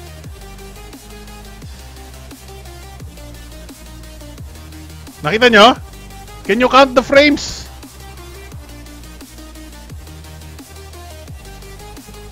Oh god! oh shit! What it's towel! Oh crap! Oh! Ah!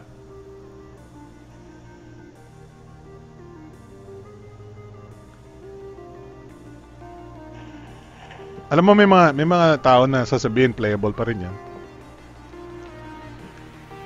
Ah. Tapusin niyo kuya. Ayoko sayang oras, dude. Ano ka ba? May, o- may ano, may buhay tayo. May buhay ang hindi hindi kung kung kung hindi tayo live stream, okay lang. Ano yun, napatay yung kampi ko. Kung hindi tayo live stream, okay, live stream okay lang. Wala kang baril, wala kang baril. What the crap? Huh! Ang liit ng screen, ang hirap magpindot. Huh! Come on, crouch! Ah! Pat pat! Ah, baril. Ah, ah, sh- shut up! Stop adding stuff on my screen. Ah, the lag! Vector. Pick that up. Alright. Ah, tignan natin kapag nakapatay tayo or something. Baka pwede tayong... Yun na, yun na lang yung gagawin natin. Let's look for something to... Somebody. Wala tayong gamit, dudes. Ah, the lag. Can you see? You see the lag, right? Hindi. Wait lang, tumayo ko naman, please. Okay. Wala tayong gamit, bros. You got a shotgun and a stupid SMG? Ugh. Ta- ju- jump, mali, maling buton. Ah, uh, saan tayo dito?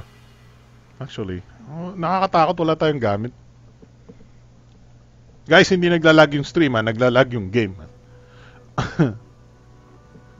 Ay, ba't pala, palayo ako dito? Papunta tayo sa circle. May pistol ba to? Bakit may buton? Whatever. Ah, may pistol nga. Apparent, ah, okay. Dinagdag na ba nila yung pistol sa PUBG Mobile? Hindi ko alam eh. I'm noob. Balik na naman tayo dito. Nandito na naman tayo. Pasok tayo dito. Dito tayo hindi pumasok. Ah, the lag! Sakit. Don't play PUBG Mobile with this phone, guys. It's not for PUBG Mobile, okay? Okay, please. Oh, uh, medkit. Uh, medkit, please fix my lag. Hmm. Wala bang...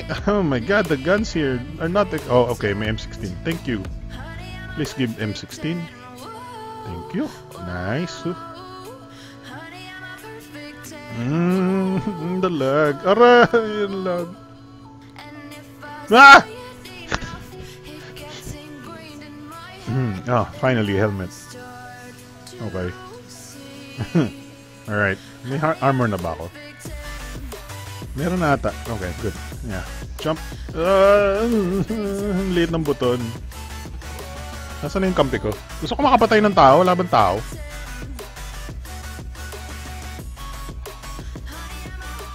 Kaya tayo.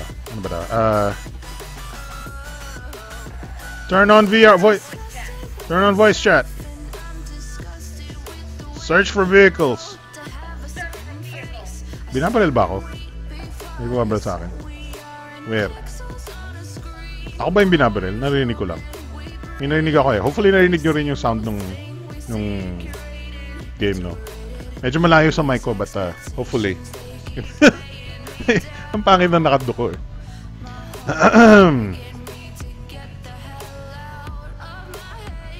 Meron naman akong grenade, no? Papatayin ko sa... Oh my god, the lag, dude! Okay, binabaril talaga ako. Seryoso lang. Ah, grabe yung lag, dude! Oh my god! Mi- ah, likod ko. There he is. Oh my god, the zoom. Oh my god, the lag, dude! Holy crap! Are you fucking disgrace? Okay. Arartating ko na lang si Kuya. Oh, the lag It's nice.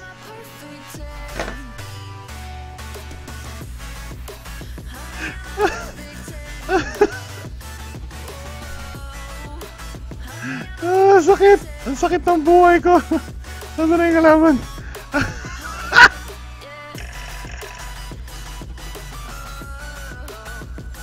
Give me your stuff, bro.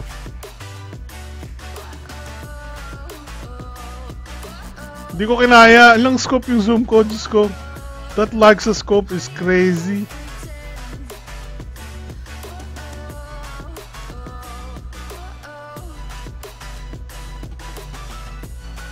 Get to the safe zone. Magpapakamatay na lang ako after this. Ay, may kotse dito. Ay, umaandar ba yung kotse? Pakamatay na ako. Hanap na lang ako ng grenade. Asan ba yung grenade? Wala nang may grenade. Wala akong grenade. Hanap ako grenade. Oh, nice gun. Give me that. M another M4. Give me that. Give me another M4. Reload my first one. Parang kinaril ko naman sobra, no? Hindi naman ako... Papakamatay na nga ako eh. Give me grenade. Want a grenade. Ah! Ayoko pin... pin stop! Ah! The touchscreen is annoying. Ayoko na. Oh, escape. Quit. Sorry, bros. Uh, go- uh, please let me let me go. Let me out. No, let me go. Let my people go. And there you go. There's the 5G. Close na natin. Boom. Whew! Aray ko, be! Aray ko, be! Buti na lang bot kalaban. I know, right? Grabe, kanina pa ako binabaril nun. So, not for PUBG Mobile, indeed. For sure, for sure, not for PUBG Mobile. That lag is... Ibang klase ko, yes. Ibang klaseng lag. Uh, that it's 5,292 gigs of RAM. Not not for ano, but the camera seems fun, seems pretty decent.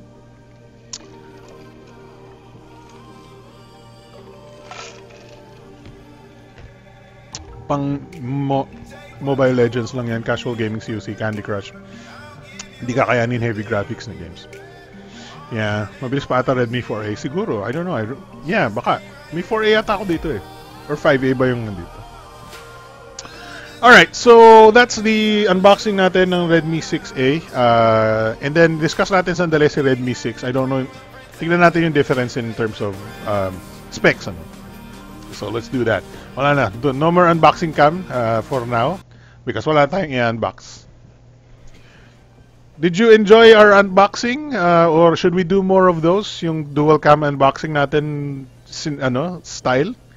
Um, kasi binalik binalik ko siya today para i-testing ulit and also, you know, I think our production values are getting better talaga. Ayos yung 40K laptop. Pag-uusapan natin 'yan uh, maybe after nitong ano yung ano yung, yung pangalan ni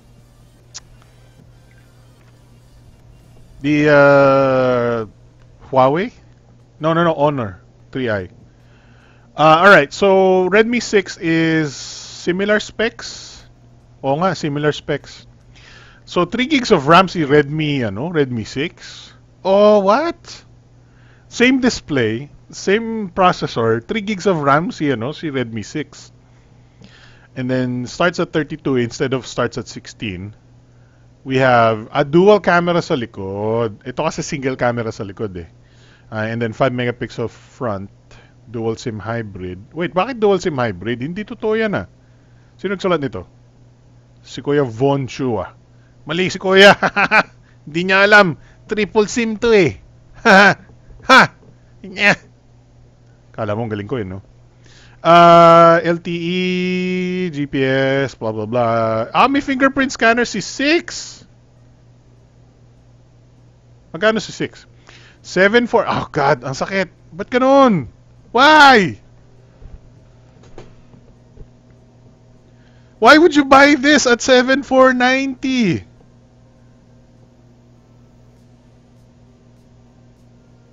There will also be a flash sale at Lazada for the Redmi 6 on July 23 uh, with a 3 gig plus 32 model selling for 6,990. So it's a 500 peso discount. While the 4G 64 model selling for oh what?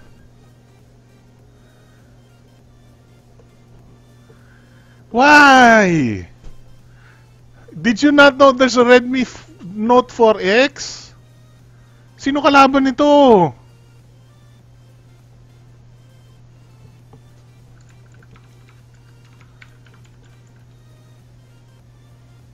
Mag-ahit ka naman.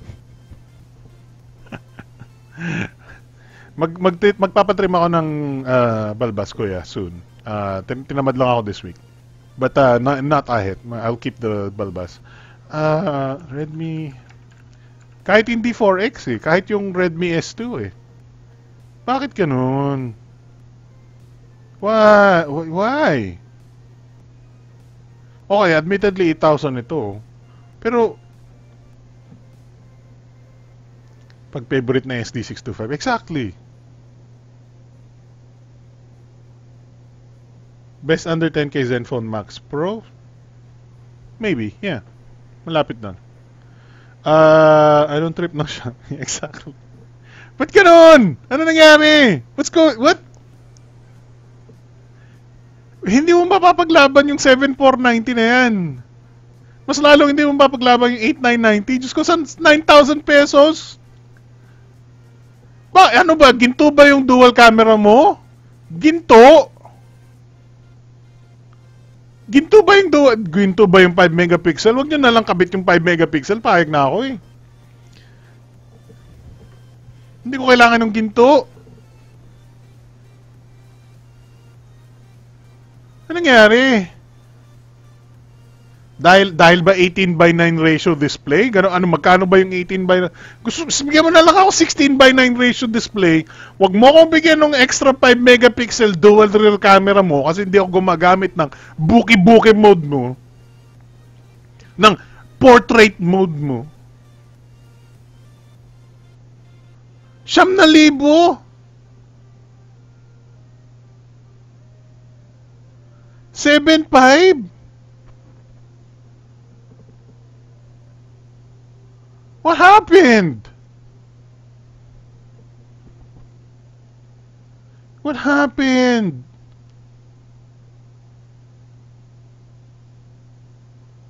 My gas, my gule. Oh well. Hmm. I don't like that. like that at all. Baka bahayag pa ako sa 6A. Kasi yung 680 nga mo 5290, tingnan mo yung 2,000 pesos difference. Nagkaroon ka ng fingerprint, nagkaroon ka ng second camera, lumaki ng konti yung storage mo. Ah, hindi pa. Ah, ang sakit, ang sakit. Hmm, hindi, hindi ko recommend. Hindi ko recommend. No, not recommended. Um, so there it is, the Redmi 6 and 6A, and also we discussed the Redmi, uh, Xiaomi Mi 8 before that. Sorry kung nagkamali ako sa mga, uh, yung, yung specific na- naming ng ano. So apparently may infrared scanner si Mi 8. The one that's gonna be available here, may infrared scanner sa mukha. Uh, no, not infrared, uh, iris or infra infrared scanner sa mukha. But the Mi 8 Explorer, which is not avail- gonna be available in the Philippines, has the 3D face recognition. So, mali ako. Um, or inaccurate ako. Kasi nakaka, medyo nakaka-confuse din eh. But the Redmi 6, I cannot recommend. Uh, just get the Note 4X, get the Redmi S2. You'll be you'll be you'll be sold. Sold sold sold. Nasa na tayo? We're, we were gonna talk about the J8 um, and then the ano, the Honor 3i ba yun? 3i? Hindi ba natin na pag-usapan to? Ano anong pag-usapan natin? Huawei 3i? Ah, I thought na pag-usapan na natin to eh, but whatever. Um, right, another four freaking. All right, all right, right. Kakalabas nga pala to. May may may event sila nga pala last week na hindi ako invited. Um, 24 megapixels asterisk for AI phone cameras, 128 gigabyte. Huawei Nova 3i, dual front camera, 24 megapixel plus 2, dual rear camera, 16 megapixel plus 2. SRP is 15990, pre-order July 19 to 27 and get a free exclusive Bluetooth speaker. What the fuck? CDR King may Bluetooth speaker, anin ko yan, 3,000 mo. Alright, uh, let's watch the film.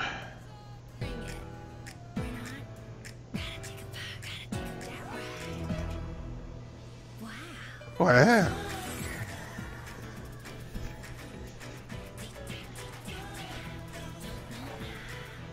What the fuck? I just wasted fucking 15 seconds of my life. Why? Para saan yung video na yon?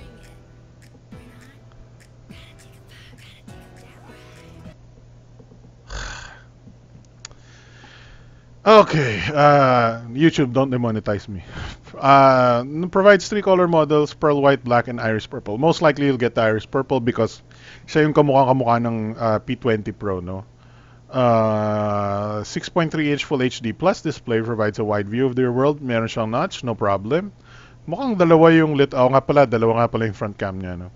Four AI cameras with the specialized 4 AI camera solution of 24 plus 2 and 16 plus 2. Impressive photos with high quality clarity and bokeh effects. Uh, selfie master, whatever, blah blah blah. HDR Pro, blah blah blah. Qmoji. Oh my god. Everybody got a couple, copy Apple. Ca ca capple. Everybody capples.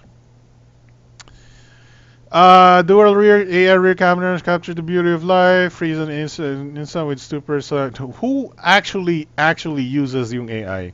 Hindi ko pa natatapos yung Zenfone 5 review kasi po, siya, gusto kong sira gusto ko siraan yung AI. Sobrang siraan yung AI kasi walang kwenta. Hindi naman nakakatulong to AI AI shit na to eh. Oh god, teka lang. YouTube don't demonetize me. Smart shopping with AI. Image searching with AI. Robust connectivity with AI. Mm. So much AI. Your brain no longer needs to work. I mean, it didn't work anyway because you bought this phone. As, Sorry. Hindi naman. Asan yung specs? Ah, ito, specs. Alright, so it looks nice. Honestly, the design looks nice to me. Uh, we have a TF IPS display, Full HD Plus, uh, Huawei Kirin 710. Kirin 710? What? Okay. It's not the highest end Kirin. Okay. 4 gig 128 uh, with micro SD. There's a dual SIM variant. Nakita na natin yung mga cameras and whatnot. Okay. For 16,000, that's not the worst thing in the world. Um, mm, I, yung Kirin 710 yung hindi ko masyadong kilala. Um, I'm willing to bet it's around the 625, 636 level of performance. So wala naman ako reklamo. I think that, uh, for the most part I think okay, this this is not the worst phone in the world. I think it's one of the better choices out there in terms of price to performance, price to specs. So far, ah, I- I'm just not sure about the high silicon Kirin 710 masyado. Um, I- from what I can tell, it's about the same level as 625, 636. So, no complaints there. Medyo slightly more power consumption si si high silicon Kirin. So mas maikli yung battery life mo by a little bit. Actually by a little more than a bit. Um, but it's not the biggest deal in the world. It's it'll it'll do fine, right? Okay lang siya. No complaints here. Uh, definitely not in the same level as low-end Sam or, or, uh, Samsung in this price point, which is yun yung pag-uusapan natin afterwards. I think it's not bad. Uh, for 16k, yeah, actually not bad. No, uh, you have your selfie capabilities. You have your Huawei brand, very good design, notch display. Definitely not as bad as Vivo. in terms of specs, ano. But yeah, it's it's it's okay. It's okay. I think it's okay. Um, in term, kung ako i-rate ko yung specs to, ito na lang, I'll rate the specs to performance. I'd say specs to performance, it's about an 8 out of 10 when it comes to good value for money when it comes to specs, no? So yun na lang yung uh, easy way to determine how good the specs are to the performance, no? Uh, to the to the price, no? I think it's at, at, in terms of what you get for your money, it's about 8 out of 10. There you go. Um, and then Vivo is maybe around uh, a 5 out of 10 when it comes to specs to perf- specs to price. All right, so that's the Nova 3i and then the Galaxy J8. Un- invited ako dito, hindi ako pumunta kasi baha, hindi ako makalis ng, alis ng bahay. Ayoko kasi ano ba, Makati yun eh. Layo-layo tapos ba- b- dadaan ako sa baha. Hindi na ano yun. Hindi na tapos babayad ka ano, magkano babayad ko sa Grab? Sige. Sige lang. Nasa may UP area ako. UP Diliman area ako. Kung ala kung kung nakatira kayo sa Maynila and then maybe galing kayo sa north area or nakapag-grab-grab na kayo kung saan-saan. Sabihin mo nga sa akin, magkano yung Grab, estimate mo sa sarili mo, based on your experience, magkano yung Grab car, Grab taxi, whatever, mula UP Diliman area, papuntang Makati or, or Fort area, sa, at, at a, uh, let's say 2 p.m. ng Wednesday or something, and umuulan ng malakas, as in malakas, mahina siguro yung 500. And then, hindi ka pa sigurado kung may makakakuha kang grab. Sigurado yun. Uh, impos- Pa- Paano yung pabalik? E di 500 plus ulit. Hindi na isang libo na ako.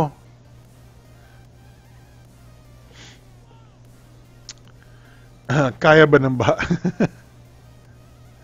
Ah, ano ba to? WCCF Tech. Bago lang Kirin 710, s- parang similar sa 970. Similar sa 970? Ah, you mean bago lang din? Hmm. Ah, replace 659. Yeah, nasa ano to, eh, feeling ko mga Snapdragon 600 level it. 600 level. That's why sabi ko 625 and 636. Um, kasi 900 series yung highest end ng ng ano, Huawei Kirin eh.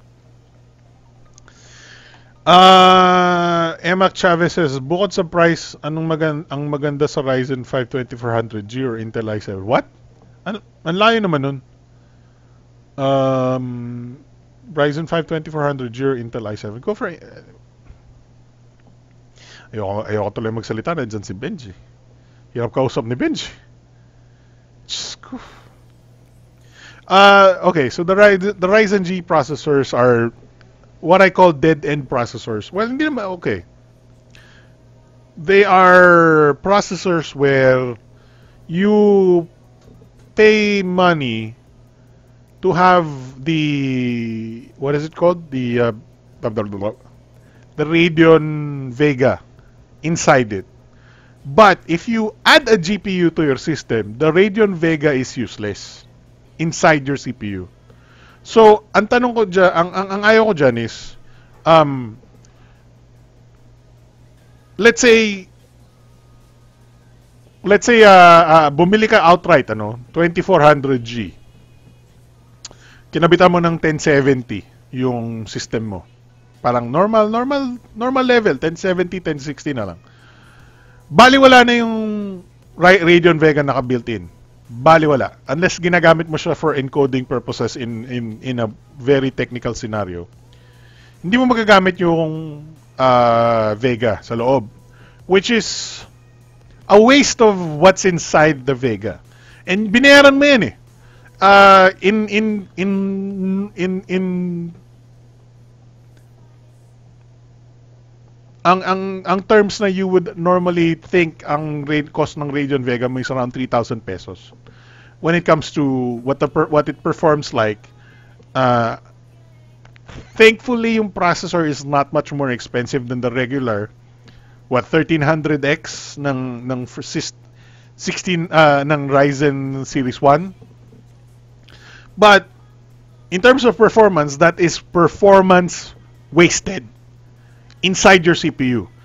Unused silicon performance inside your CPU because you'll never use it if you don't use if you have an external discrete GPU.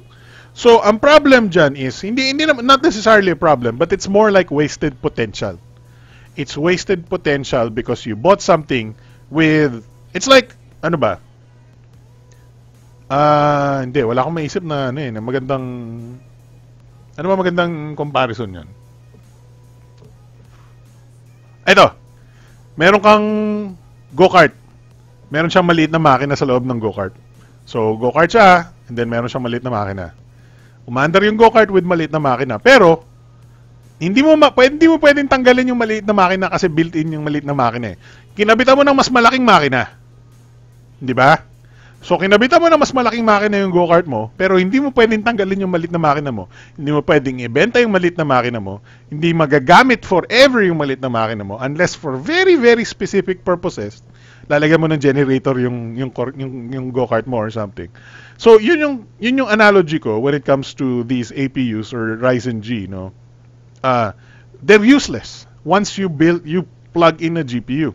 They're useful if you don't have a GPU. So question is, ang balak, ang balak mo ba magka-GPU later on? E kung balak mong magka-GPU later on, then basically you're putting money in something that will not be ever used later on. So are you okay? Are you okay with having this little makina inside your system that is never used? Okay lang, actually, so totoo lang, kung ako lang, kung tatanungin mo kung pa, whatever. Okay lang na mayroong makina sa loob ng kotse ko na hindi gumagana, hindi ginagamit. Hmm? Siguro pag nasira yung makina ko, yun na lang gagamitin ko. But, yun ang problem doon is you slightly pay for that extra makina in your system. Nice headphones. Thank you, Sir Jonathan yun yung uh, binabayaran mo sa system mo. A little bit of that extra engine uh, sa system mo. Pwedeng tanggapin mo na mawawala na yun. Wala, try, just write off mo na lang yun. Wala, wala, wala akong pakialam sa makina na yan. Mura lang yan eh. Fine. But to some people like me, I don't like that. I don't like the fact na merong extra, merong merong uh, appendicitis na may maliit na makina na nakakadikit sa, sa kotse ko na hindi gumagana. Mapabigat ng konti. Konti, konti lang. So, uh, yun lang yung ano mo, yun lang decision mo dito. Now, if you're asking me, Ryzen 5 2400G or Intel i7, tatanungin ko anong Intel i7. But, uh, most likely you're talking about an Intel i7 na, na modern, the, today's today's level na Intel i7. So, I'm I'm going to assume pan gaming ang ang target mo. Kung ganun lang din, I'll go with the Intel i7. Malayong malayo 'yan. The 2400G is a is a budget budget hindi man budget okay. The 2400G is a mid-level CPU na lang. a mid-level CPU. An Intel i7 is supposedly a high-end, high clock speed CPU with oh, sabi yung yung cores and whatnot pareho lang. But in terms of clock speed, generally mas mataas ang iaabot mo sa Intel i7. Especially if you buy the newer Intel i7s with higher clock speeds, lower lower power consumption, and overclockable. So mas mapapamahal ka ng konti sa Intel i7 or actually medyo tabla lang sila. What I would compare this to is ganito, medyo may parity na ngayon eh kasi yung Intel i7 uh, modern na 8th gen is already 6 core 12 thread. The modern Ryzen 7 is 8 core 16 thread. Pero naglalaban sila sa performance. Mas maraming threads si Ryzen 7, mas mabilis sa clock speed si Intel i7. So, the question is na lang din is do you want more threads or do you want more clock speed? For gaming, you want clock speed. Clock speed is the one that dictates your frame rate for most games. Actually, 99.9% of games siguro. John Shaw says 8700K versus 2400G. 8700K sigurado lang din. Um, uh, there are some I'm not saying Ryzen is bad or AMD is bad. I like AMD, dude. Merong may AMD system dito. If you don't actually hindi sa akin 'yan, but pagyayabang ko pa rin. The ano, the the Super Tor- Stormtrooper AMD system. Uh, bakit nalalaglag? Hindi ko na-lock. Okay. Eh, oink. Ah, nangyari sa aking headset cable. Natapakan ng aking tripod. Yan. Mapapa, map, mabubuksan natin, mapapabukas tayo ng Ryzen. Teka lang, ba't ayaw mag-lock ng tripod? Napaka-low. Low. Tanggalin ko na nga yung charger ng headset ko para hindi na tayo, makapaglakad-lakad na tayo. Ugh! Buksan natin siya.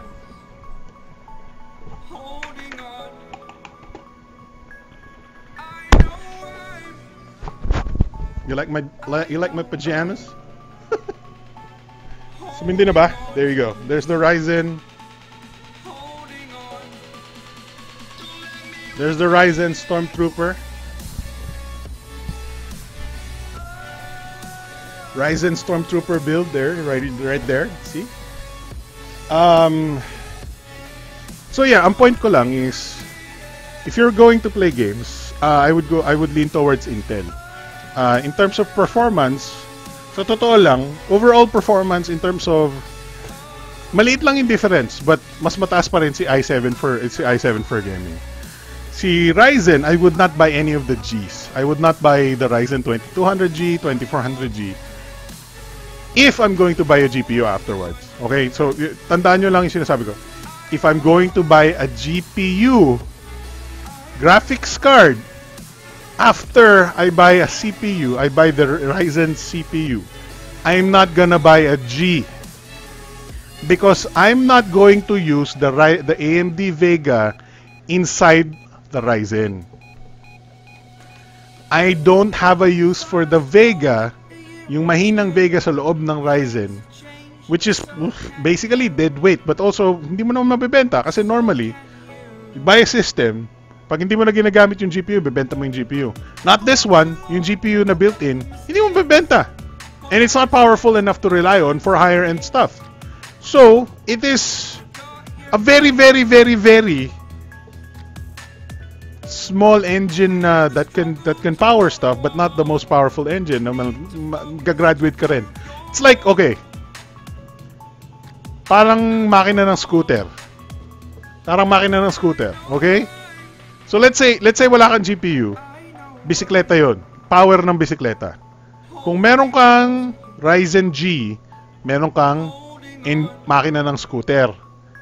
Hindi pa rin mabilis yon. Punta ka sa EDSA, may scooter ka, Diyos ko, na, matatakot ka sa buhay mo. Uh, ang actual GPU, yung malakas na GPU, yan, kotse na yan. Ko- makina na ng kotse yan.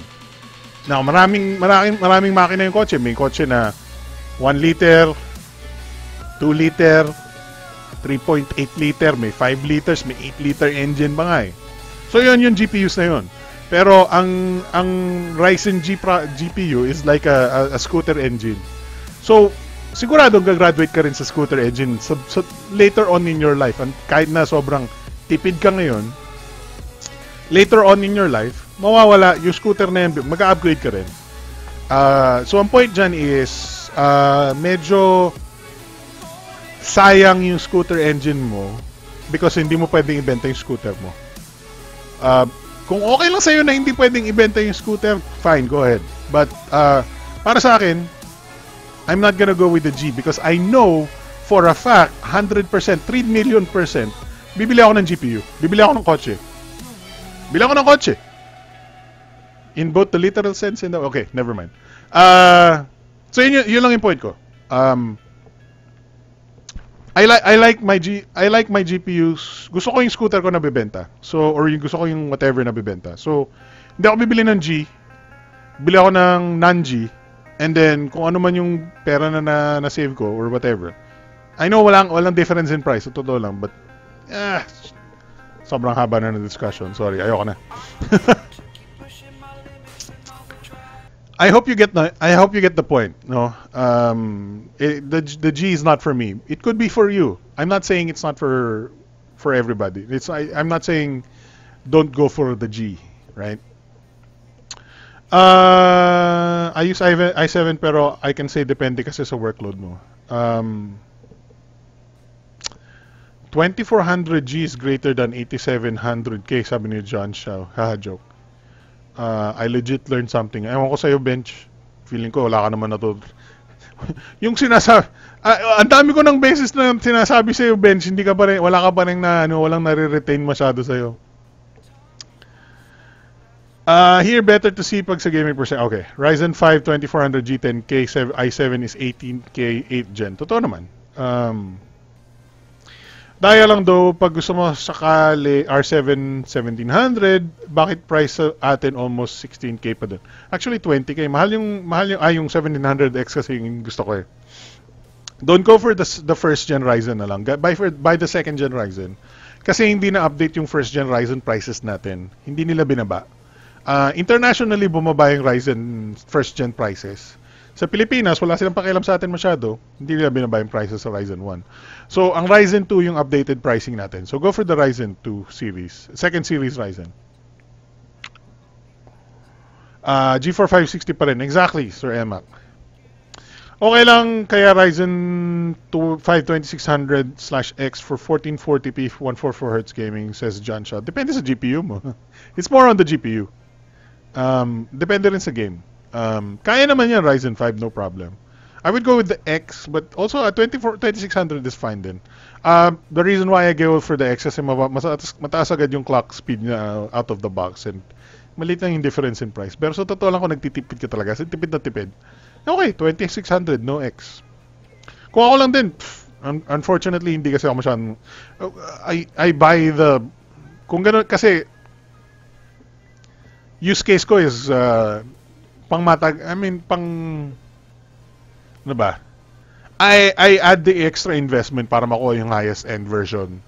Um, kasi ayoko ng problema. Ayoko nung nagsa-struggle ako sa kaya ba, hindi kaya. Or borderline kaya, borderline. Ayoko ng borderline kaya. Gusto ko, bang! Kaya yan lahat. Yung 1080 Ti nga, nahihirapan sa 4K, kaya borderline pa rin ako sa 1080 Ti. Um, sa bagay daw, yung memory picking sa unang gen is still finicky than the second gen Ryzen. And then, uh, uh, uh, ang prices kasi, the prices ng second gen is actually lower than the first gen Ryzen officially. Binabalan talaga nung sellers yung first gen Ryzen because, well, they had to. But Ryzen second gen is, SRP in the Philippines is lower, much lower. So go for a Ryzen second gen. Actually, tingnan natin. Let's call up Awesome Table. Awesome table! Yeah! Parang Sonic the Hedgehog. Ryzen. Yan Ryzen 7. Okay. Ryzen. Ah, wala nang first gen. Nasaan na yung ibang Ryzen? Ryzen. Okay. So, tingnan natin. Ryzen 5 1500X for is 9,000. Tingnan mo, tingnan mo yung prices, oh. Wala silang ibang Ryzen. Naubos na siguro yung iba, no? Tingnan mo yung 6 core ng 620-600. Tingnan mo yung 6 core ng 2600. 10,000. Tingnan mo yung 4 core ng 1500X, 9,000. Ano ba yan? Babaan mo naman yung prices ko. Line ng difference. A line difference in performance, 4 core, 6 core. Tapos isang libo lang difference. Yan yung, yan yung problem ng Ryzen first gen. Buti na lang paubos na.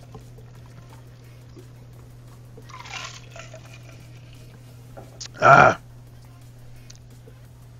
Planning to upgrade din to 1080. Kino-consider ko si Ryzen kasi on track si Ryzen 3rd gen for next year. Yun ang maganda sa Ryzen is um, their motherboards don't change.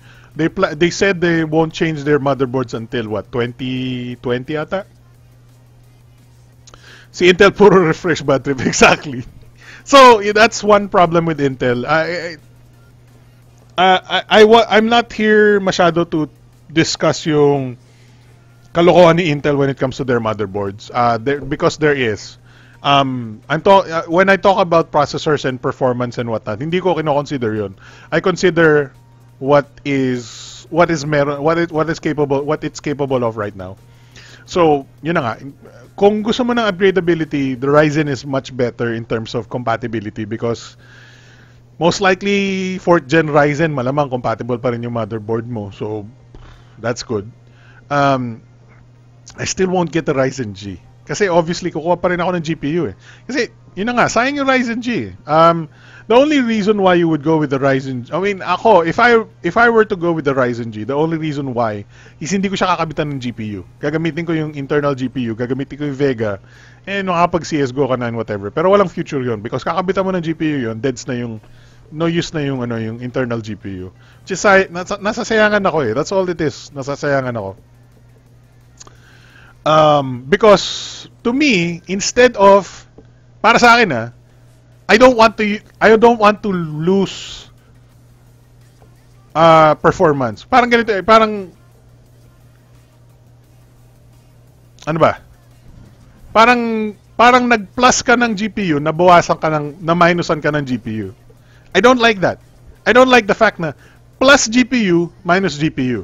Gusto ko hindi ako nawawalan ng system. Nawawalan ng pyesa. Parang ganoon. I don't know, conservation of whatever, matter, whatever.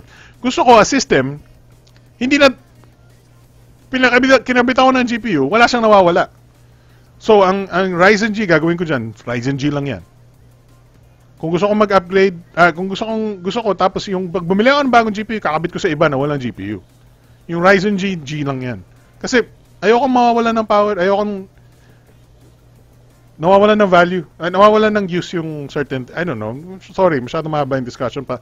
I, it's something I I kind of uh, I'm I'm kind of OCD about. I don't like I don't like losing the thing. Uh, let's see. Speaking of Intel, yung refresh is compatible daw sa Z370 XD. I don't know. Ewan ko, hindi na ako masyadong ano. I don't like what Intel is doing. Thankfully, hindi ako masyadong not looking for an upgrade right now. Uh, honest to goodness though, uh, ang my personal possible upgrade path for myself, ang gusto ko sanang upgrade path, if I'm going to upgrade, and I seriously considered upgrading recently, gusto kong mag Ryzen 7 2700X, uh, which is this one. Yan, Ryzen 7 2700X. Um, mag 2 2 plus years na rin itong system ko with the uh, 6700 non-overclock K. So this is an Intel i7 6700 4-core 8-thread. Medyo malakas pa rin siya and then for games wala siyang problema. It's 3.7 3.7 gigahertz uh, yun na boost niya. So let's see. There it is. 3.7 GHz siya ngayon. Um, kaya pa niya. Hindi naman siya sobrang luma. Unfortunately, hindi ko na pwede i-upgrade yung motherboard because Intel is a goddamn uh, uh, greedy ass motho. So, ayaw na nila akong bigyan ng options to upgrade this motherboard with more processors and whatnot. Um, So, slightly dead end na tong motherboard ko, slightly dead end na rin tong processor. Um, considered as non-current processor na yung gamit ko. Non-current uh, uh, architecture yung processor ko even though it's only 2 years old. Whatever, don't care. Ganun talaga buhay. But um, kaya pa naman ng 6700 ko. I think I could last another 2 years with this guy. It's still a high-end processor, an i7, 4-core 8-thread. Medyo na, mabagal na siya sa video rendering for me. Kayang-kaya niya video rendering no problem. But ma maarte ako, eh. I use 4K videos. So I could I could a little bit of performance increase would would be nice, but not gonna gonna cost me 20,000 pesos just to upgrade maybe not. My point is, uh, medyo scumbag si Intel when it comes to phasing out their architecture. Uh, so ang if if I were to take an upgrade seriously today, definitely magto 2700X ako. I have nothing against AMD. I love their uh, uh, kasi ang tanong niyan mag, mag 2700X ba ako or mag i7 ako na 8700K. Yan. So, tingnan nyo yung price. Very similar. 8700K is nearly 20,000 pesos. Si uh, 2700X is around 17, 18,000. So, hindi naman malayo yung prices nila. Obviously, Intel has a little bit branding, branding so mas mahal siya ng konti. Um, and then, malakas naman siya. Although this is 6-core 12-thread, the Ryzen is 8-core 16-thread. So, more, more cores, more threads. Um, overall, gaming, ito pa rin yung number one for processing stuff, for video editing, panalo yung Ryzen. Doesn't matter, both of them will be a massive upgrade for me. Ang ano lang talaga is, I don't like the fact that if I buy this, siguradong i-outdate ako ni Intel very soon. Yun ang yun na yung yun na yung magiging issue ko. I don't want to invest in a 20,000 peso CPU again and then iiwanan ako sa area na naman ni Intel. Which happened already with my 6700. So sabi ko, kung nan since AMD is competitive now, since AMD has Ryzen, since AMD has promised na maging masusuportahan ako ng yung yung motherboard ko, masusuportahan yung CPU ko for several for a few more years at least. Solid AMD na ako from now on. Back then when I built my PC with the 6700 i7, walang competitor si AMD na processor. Wala siyang Ryzen. So, yun na, yun na lang yung ano ko, yun na lang yung ano ko. I will definitely go Ryzen next system for uh, from what I can tell based on current market standard, current market st uh, status. Yun lang. Um, I don't know why I said that, but yeah, na, na burn na ako ng buisit na Intel crap na phasing out stuff. So, yeah. Uh, let's see, ano meron? Yung nga pala, may plano pa sila gumawa ng economical Ryzen like mababa TDP. Ayoko nun. Wala akong pakialam dyan. Inis ko pa rin kung mag-bottleneck yung 1066 gigs at G4 No. Kahit 1080 hindi maba-bottleneck ng ano ng G4 560. Ano ba? ang sakit talaga, ang hirap talaga ng ng hindi uh, this is ang sagwa talaga ng ang sagwa talaga ng misconception sa ano sa sa PC building talaga. Um, may merong video si ano, 'di ba? Sino bang kanino bang video 'yon? Let's see. Um, hindi ko alam yung exactly name eh. Ah, uh, uh, okay. Ito, si Gamers Nexus, the best. One of the best talaga. Hindi ko lang alam kung exactly saan tayo pupunta. Ayan o! Oh. Sige lang. Sige, sige lang.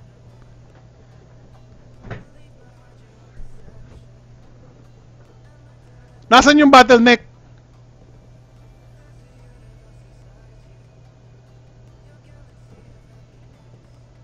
Nasaan yung bottleneck?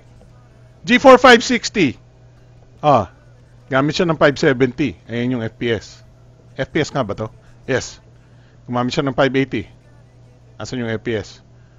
1050 Ti. Okay. Hmm. 1070 super clock. Hmm. Yan. Ah. 1060. Aha. Aha. May pinagbago? May pinagbago? May pinagbago? G4 560 yan! May pinagbago? May pinagbago? May pinag 2.3 0.3 FPS versus sa 1070 0.3 FPS tinaas versus 1050 Ti Oh, point, oh, oh my god! 0.5 FPS tinaas versus RX 580 sa G4 560 Nasaan yung bottleneck?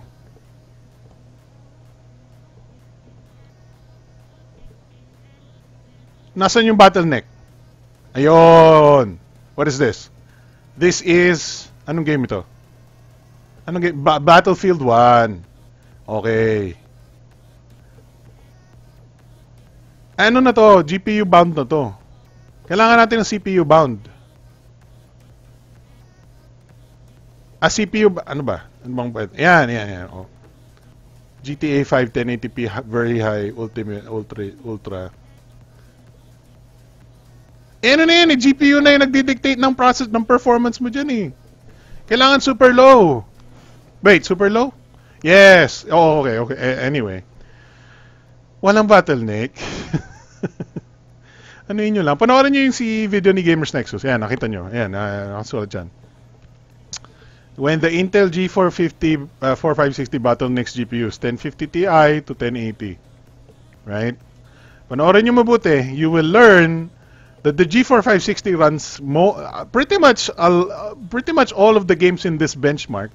Siguro 9 out of 10 games in this benchmark with no bottlenecks. Ang bottleneck mo lagi is GPU especially in games. Ang bottleneck mo lagi is GPU. Unless na lang sobrang baba lang nung graphics ng nung pinanalaro mo. Let's say you're playing something like uh, uh, CS:GO you're playing Dota 2 or League of Legends, or maybe even Overwatch, binaba mo yung settings sobra ng graphics, siguradong CPU, CPU bottleneck yan. Uh, which means, kung anong kaya ng CPU, yun lang ibibigay niya. But, pag tinaas mo yung graphic settings mo ng todo-todo, siguradong yung GPU, eh, yung CPU kayang-kaya niya iba to lahat. Pero yung GPU yung naghihirap. So, ba, ang tanong diyan is it's a balance it's a, it's sort of a balance pero ang ta- sa tanong diyan bakit mo ibababa yung kung meron kang mataas ng GPU itaas mo yung graphic settings mo para balanse. Kung mababa yung GPU mababa yung baba mo yung ano yung yung settings mo. But the CPU can handle high, high, high frame rates. All right? Uh, uh, kailangan, yung magandang test is yung nag-test siya ng super low eh. Hi. Hi. Pag nag-test ka ng super low settings, magiging GPU bound.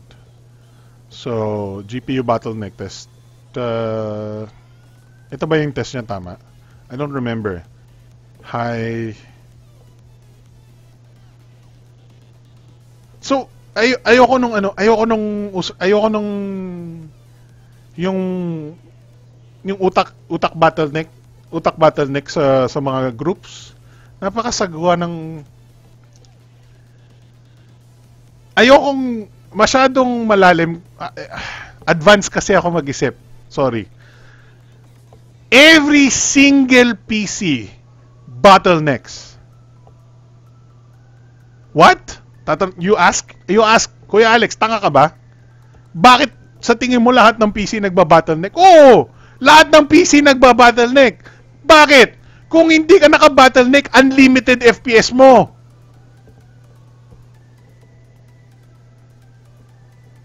Ha? Ano daw? Sabi ni Alex? Taka siguro yung Alex na yun. Kaya walang kwenta yung channel ni. Sabi niya, walang lahat ng PC may bottleneck. Ulul pala yun eh. Bakit sabi ni XYXY Vlog, I love this laptop, by the way. Thanks Asus for sponsoring my laptop, by the way. Asus. No! Lahat ng PC may bottleneck. Tignan mo yung frame rate na yan. Kung wala kang bottleneck, nandun yung bar mo sa an infinity. That means, 82.3 lang yung kaya niya. That's the bottleneck. Ang tanong is, if mababa yung bottleneck point mo or ito mataas-taas yung bottleneck point mo. Gets? Where is your bottleneck point? And hindi lang yan, hindi lang simpleng simpleng tanong na bottleneck ba yung CPU? Bottleneck ba? Because there's so many things to consider. There's a CPU bottleneck, there's a graphics bottleneck. Heck, there's a RAM bottleneck and there's also power bottleneck. Ang tanong, bottleneck saan? Ang sa mga groups kasi tang, puro mga tangangot yung mga tao doon eh. Sabi lang, ay sir, bakit yan yung binili mo? Bottleneck yan. Ha? Bumili ako ng desktop na walang GPU. i7, wala pa akong GPU noon. Bottleneck ba ako? Based on the group standards, bottleneck yung i7 ko. Kasi wala akong GPU. Ay, ba't mo binili yan, sir? Bottleneck yan, i7, walang GPU. Tanga ka ba? Ta- according to the group, tanga ako. Why? Because walang GPU daw. Ano ba pakialam ko? Wala akong pakialam sa GPU. Naglalaro ko ng ibang games. Kung CSGO yung nilalaro ko, hindi man ako mababottleneck. Wala akong GPU, kaya ako mag-CSGO. More than 120 FPS. Bottleneck ako? Bottleneck ako noon? Brains. The brains. Bottleneck. Maraming points to ponder when it comes to bottleneck. There is what game will you be playing or specifically what will you use the system for? Because I did not buy this system originally for playing games. I bought this system to to edit video. Bottleneck ako dahil nag-edit ako ng video walang GPU. Hindi. Kasi hindi naman gumagamit masyado ng GPU yung ano, yung yung video editing. According to the groups, tanga ako, bottleneck yung system ko. No! Because I use it as intended, walang GPU. So, ayoko ng bottleneck discussion masyado because it's a it's a very very deep pigeonhole na masakit yung usapan na masyadong malalim at technical. Kaya pagdating sa groups, meron lang mga tangangot na sasabihin, ay bottleneck yan. Kasi yung utak nila ganun kakitid. Ganun kakitid yung utak nila na akala nila lahat ng tao pareho nila. Akala nila lahat ng tao gusto maglaro ng games na nilalaro nila. Hindi naman, bakit? Most likely yung nilalaro nila Dota, what, CSGO, uh, sabihin na natin maybe PUBG. Ba, yung ba nilalaro mo? Hindi nga ako naglalaro. The, if you're going to build, sorry, nag, I like the, nasira yung green screen natin if you're going to build a system for gaming, merong specific parameters yan para best not to bottleneck. But in general, in general, that, G, that G4 560, in general, in most games, uh, I think yung CPU bound the game is like GTA 5 mostly. In most games, the G4 560 does not bottleneck even with the GTX 1080. Okay? In most games, walang problema. Go ahead with the G4 560. Why? Because most games do not tax the CPU so much. Most games, ang ang ang need for power is nasa GPU most games is around nasa eh, I'd say 20 30% power need pa- powerful needs demanding sa CPU 70% GPU all right most games. Most games. 30% CPU 70% GPU okay? So yung G4 560 walang problema sa 30% yan for most games. Walang problema sa 30% yung tanong is gaano katindi yung GPU mo. Kaya ni kaya ni G4 560 ng 30%. But your GPU can be this small, this small, this small, that big. Lahat ng range na yan, kayang-kaya ni G4 560.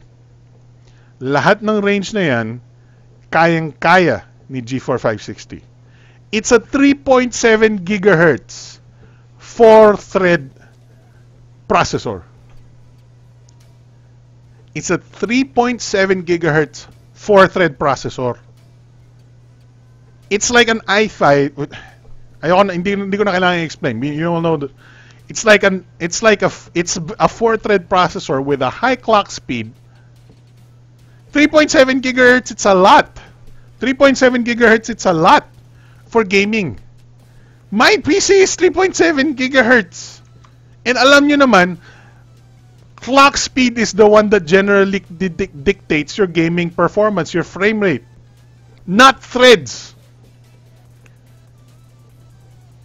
Clock speed is the one that dictates most of your FPS when it comes to the CPU, not threads. So the, the 3.8 gigahertz. That, that's doing turbo boost. That's why umabot siya ng 3.8. I think yung max is 3.9. But, my point is, your G5 560 is enough. Even at, with the GTX 1080. The only reason why I would not recommend that is because your budget is a little high on yung parang i-balance mo ng konti yung not balance in terms of uh, uh, bottlenecks no they're not you're not gonna bottleneck but uh maawa ka sa sarili mo konti because you're gonna only be good for gaming is what I mean or only be actually in G4 56 kahit, kahit most uses hindi siya mahina eh but my point here is maawa ka sa sarili mo because your CPU is low end pa rin. If you're gonna yung yung typical boot up time mo, yung typical opening Chrome, yung yung manonood ka ng videos in 4K for example, if I watch this in 4K, may mahirapan na yung G4 560 mo for example.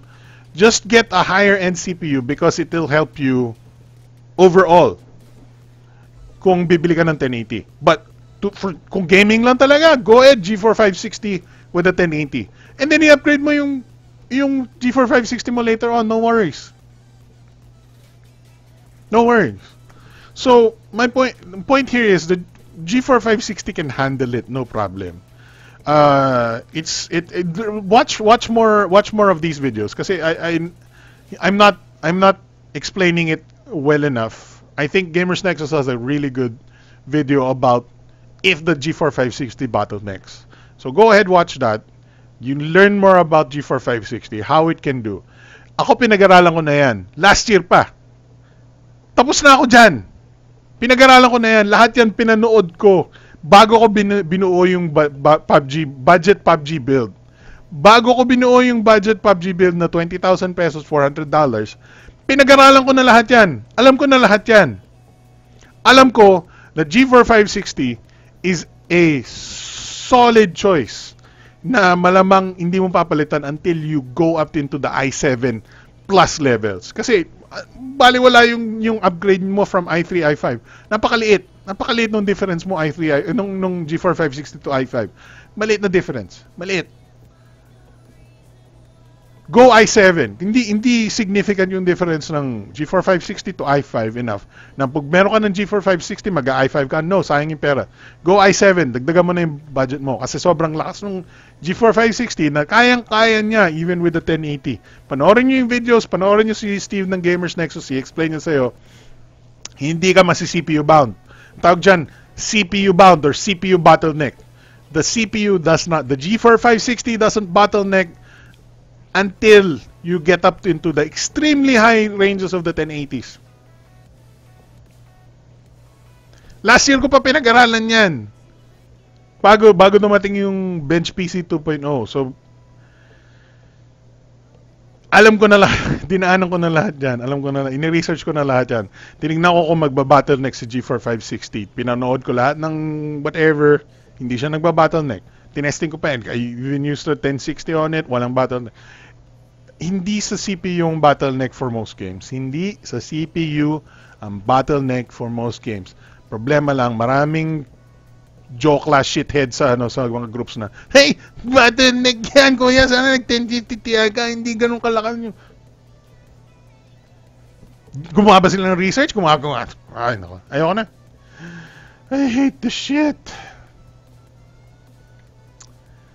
Uh, sorry. Sorry. Um, uh,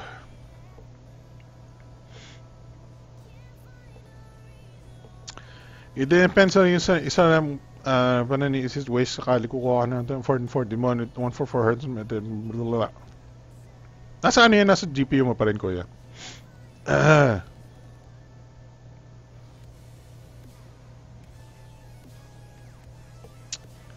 Kuya sa Tomb Raider, uh, G4 560 1060 high settings, papalo kaya ng 60 FPS? Um,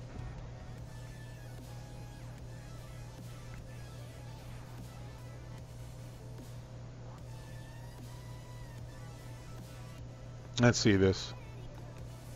Uh, alam ko lowest settings yung benchmark ko dito eh. Tsaka i3 gamit ko, pero I think ano lang, okay naman yun. Let's see, uh, 1060 Galax.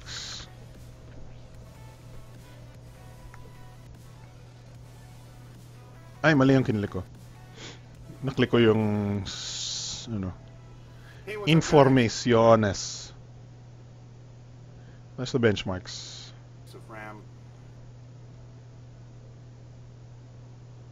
Sorry sa medyo you know, that's what Sorry sa medyo ano ba, nag uh, nat- hindi man triggered but more like ah, I'm passionate about this topic na lang. Let's let's call it that. Yung G4 560 is a strong processor. Uh, so let's see, Rise of the Tomb Raider 91.02 FPS. I think I used uh, lowest settings, hindi ko na ex- If you want you, you can watch this. Nakalimutan ko na yung alam ko lowest settings ako lagi eh. Um, So you're getting 90 FPS. Let's say let's say let's as lowest settings, you know. Uh yeah, Fire Strike at 5835. What bakit 5835? Oh no no no no, sorry, sorry, sorry. Ano pala 'yon? This is the 1050 pala. No, that's not it. We're looking at takpan natin 'yan. Takpan natin. That's not useful. We're looking at this. This is the 1060. Okay? Under 12.71 FPS. I think you can hit 60 FPS, no problem. Pero lowest settings ito so far. So, um, since lowest settings yung 117, isipin mo na lang, itaas mo yung settings, aabot ka rin ng, bababa yan, let's say, paabutin mo ng 70, 70 FPS, solve ka na sa sa high settings. I don't I don't have a 1060 right now to test for you.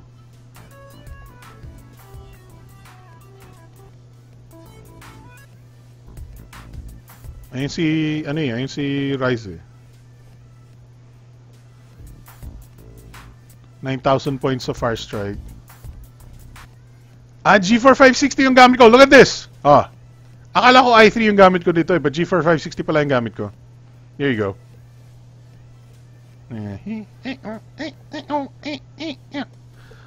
So this is a G... Ito, here's a good way to see yung, yung ano, yung a little bit of a glimpse of what a G4 560 can do with a 1060, for example. Um,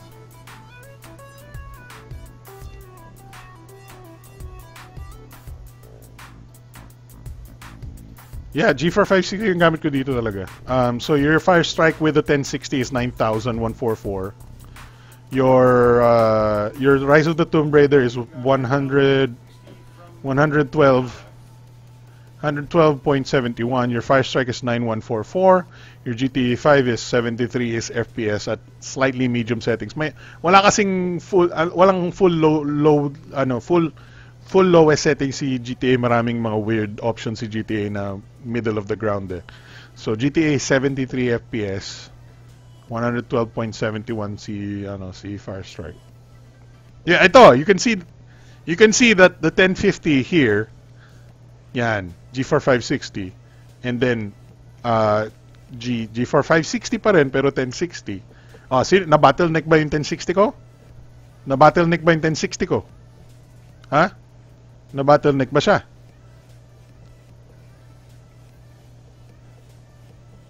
Like 5835 Fire Strike. 5835 9144. Na bottleneck ba? Keep in mind, kasama sa kasama sa score ng Firestrike yung CPU performance. Not bottleneck. Not bottleneck. Ah. kung isasama mo yung CPU performance, yes. But when it comes to gaming performance, walang walang mangyayari dyan. Walang difference. Ah, let's see. Uh, bottleneck is a kind of hardware limitation in computer. Bottleneck occurs when the capacity of an application or computer system is severely limited by a single component. Severely limited na. I mean, that's uh, a, a, a, slightly looser definition. A, a, a, a legit philosophy level bottleneck is hindi in, pag battle in, ba-bottleneck ang system mo pag hindi infinite ang, ang ano. Kasi sa group sigurado lang mga gagong tangangot diyan eh. Ay hindi umabot ng 400 FPS bottleneck ka sir. Fo- hindi ka umabot ng 400 FPS eh bottleneck yan. Ani mo yung 400 FPS? A- ani mo ani mo yung 400 FPS? Wala kang monitor umabot ng 400 FPS eh. Ani mo yun? Hmm? Bottleneck yan, sir. Maraming gago sa group. Uh, let's see. Next topic. Sorry naman. Ah, before and after. Neat pa si Kuya. I know, right? Uh, at least it's additional natutunan ko after ano, bottleneck anyway.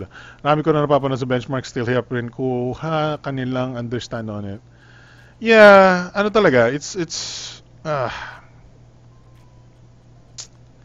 I I I just have to say yung G4 560 talaga. There's uh, there's a lot of people talaga na masyadong minamaliit yung G4 560. I did I done my research.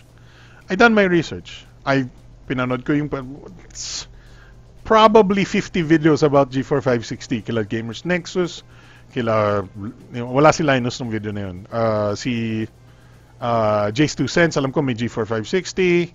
Basta si Gamers Nexus yung pinaka-detalyado na, na, na ano ko. But I done my research. G4 560 is honestly kung gamer ka lang, hindi mo naman kailangan ng more than G4 560 totoo lang. Siguro kung nasa 144 Hz ka na, hindi mo na you need higher clock speed, you need higher cores. But average gamer na siguro yung yung yung pangarap mo i5, the G4 560 is good enough. Uber rami na ata ako tech YouTubers na sa subs sa pasobra. Okay na okay okay na okay rin ba si G4 560 sa mga normal game like Dota 2? Diyos ko, ay nagko. Kaya walang problema. Oh my god. Yan yung pinaka-common ko- comment, alam mo yun, yung pinaka-common question.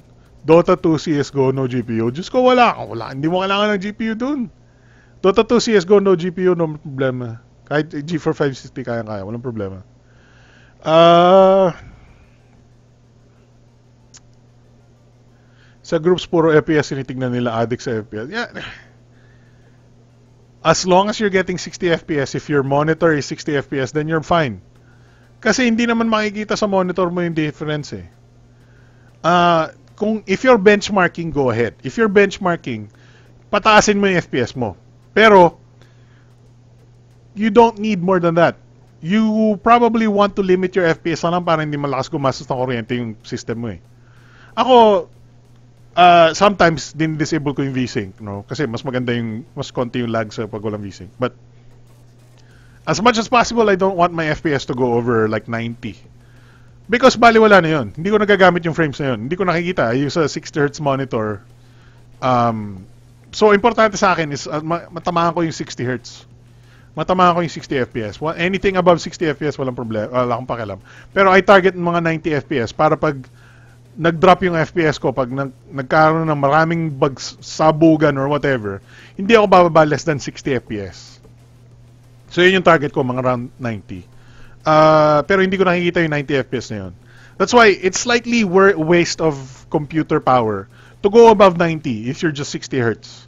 To go above 90 is wasting power, uh, nasisi- wasting kuryente, wasting yung reliability ng system mo because magi the more you push your system over the FPS that you need is masasayang yung yung yung longevity ng CPU and GPU mo, longevity ng fans mo because they have to spin faster dahil madalas magiinit din yung CPU, yung yung device, yung yung laptop, yung device mo, yung PC mo faster na hindi mo man na-appreciate yung more than more than more higher FPS. Di ba? If you're not appreciating the higher FPS, then why are you wanting your PC to render more than the the needed FPS? Kasi you're adding more wear and tear to your device. Let's say, parang kotse yan na nire-rev mo ng sangkatutak, pero yung takbo mo 10 kilometers per hour. Or may, nire-rev mo ng sangkatutak, pero nasa 60 kilometers per hour zone ka lang. Yeah, exactly. Exactly. Yung kotse mo na nire-rev mo na, parang yung kotse, uh, whatever. So, you get what I mean.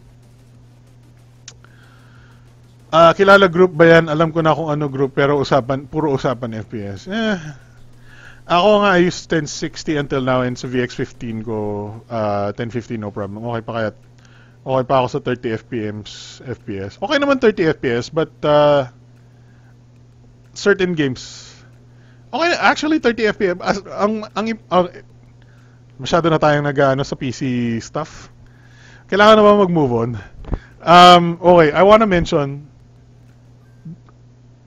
I don't like FPS fluctuations. Masakit sa mata yung FPS fluctuations. I don't care kung nagfa let's say nagfa-fluctuate ka between 50 60 FPS, masakit sa mata 'yon. Yung between yung yung yung yung yung different yung kasi yung mata mo ito yan ah. Your brain and your eyes work in a certain way. And kung may gap may gap yung frames mo, and then biglang bumilis, yung bumabagal tapos bibilis, sakit sa mata nun. Okay? Yun na. Okay. So, if something slows down and speeds up yung frame rate, okay lang mabagal, okay lang 30 FPS, basta solid 30 FPS, hindi masakit sa mata. Hindi masakit sa utak. Pero kung 30 yan na umakit ng 40, bumaba ng 30, it's better to just stay 30. It's better to just stay 30. Masakit sa mata yung 30 umakit ng 40 mababa, umakit mababa. Masakit sa mata kasi nag-a-adjust yung yung utak mo doon sa speed and gumagano yung utak mo parang ah, ano nangyayari? Ba't bumibilis mo bagal? If it's a constantly decent uh, sa ano yan eh, yung 32 millisecond refresh yan pag 30 FPS eh Okay lang sa mata mo yun. Okay lang sa brain mo yun. Pero kung umaakit, bumaba yung frame rate, ang sakit sa mata nun. Just, just, just keep that in mind. If you can't hit 60 FPS solid, don't try, don't try to do like 50, 60 na bumaba ng 50 or, or 30 bum, umakit tuma, 30 yung, tar, yung ano mo, tapos umakit ng konti sa 30. Sakit nun, sakit sa mata. Anyway, uh, Kuya, di ba may kasama stock fan yung G4 560? Need ko ba palitan yung mas No, hindi mo kailangan palitan, kuya. No. Eh na naman tayo sa groups na naman. Nag, ako mo siguro sa groups yung in, knowledge mo. Nako, nako mo siguro sa groups yung knowledge. The knowledge. Oh, man. Uh, naalala ko nilaro ko yung Watch Dogs sa PC namin, 20 to 30 FPS. Tapos tumingin ako sa dingding namin 60 FPS na bigla. Okay, ito eh, hindi 60 FPS yun, more than 60 FPS yun, kuya. I just want to tell you something. Um, based on an actual scientific study, our eyes can see between 215 or 220 na lang to 260 FPS. Alright? Okay, so tandaan nyo mabuti. Our eyes it's it's slightly muddy, slightly weird how our brain interprets it because our brain interprets motion in in in splotches of light, in splotches on our eyes. So hindi lahat nagre-refresh sa utak natin. Yan na. I'm hopefully hopefully you like this kind of content in our show. Kasi I'm I'm trying to maybe diversify or maybe add a little bit of knowledge into our show our brain interprets eyesight differently than what you think. It it refreshes certain parts of our eyesight in in batches, in small little areas like this. So tumatama lang dito, tumatama doon minsan, but the refresh rate on how much it refreshes ang mata natin is between 220 to 260 frames per second. All right, keep that in mind. Our eyes can see up to 260 frames per second, not the entire view, but our brain processes in 260 FPS. So, the maximum our brain can appreciate a monitor is up to 260 hertz. Right? So, hindi totoo na sinasabi nila the eye can only see 30 FPS, the eye can only see 60 FPS. Mali sila. Based on scientific research, our eyes can see up to 260 FPS. Our eyes can see 260 FPS. More than that, hindi na natin nakikita. So 260 FPS is a lot. 260 hertz. Sa monitor in term in monitor terms that's hertz. So, you keep that in mind when you're buying or when you're considering when tumingala ka, hindi 60 FPS yung tingala mo. Wala na, just trying to be share some share some knowledge, no? Our eyes when tumingala ka after the game, no? Kung tumingala ka, that's 260 FPS. 260 FPS ang pag tumat if that's why we cannot that's why our eyes know we know that a video game is a video game because it's not moving at 260 FPS like real life. Now, tingnan mo, isipin mo na lang to reach a realistic level. Actually, gusto niyo mala, nakalimutan ko na but our eyes are actually may megapixels din yung mata natin. We have I think 100 megapixels on our eyes. Hindi lahat, hindi it, like I said, our brain does this splotch thing sa mata, but our eyes is like 100 or I think 200 megapixels overall. Think about it. For a for something to be photorealistic to our mind, tas in sobrang super realistic, the video that we have to see, the screen we have to see, is around 200 megapixels, 260 FPS. Right? So that's how that's how you know it's super realistic when it reaches 200 megapixels and 260 FPS. Huh? You learned something new, I think. Um, so why did I say the why did the research say ang ang ano mo is between 220 to 260 FPS yung mata mo?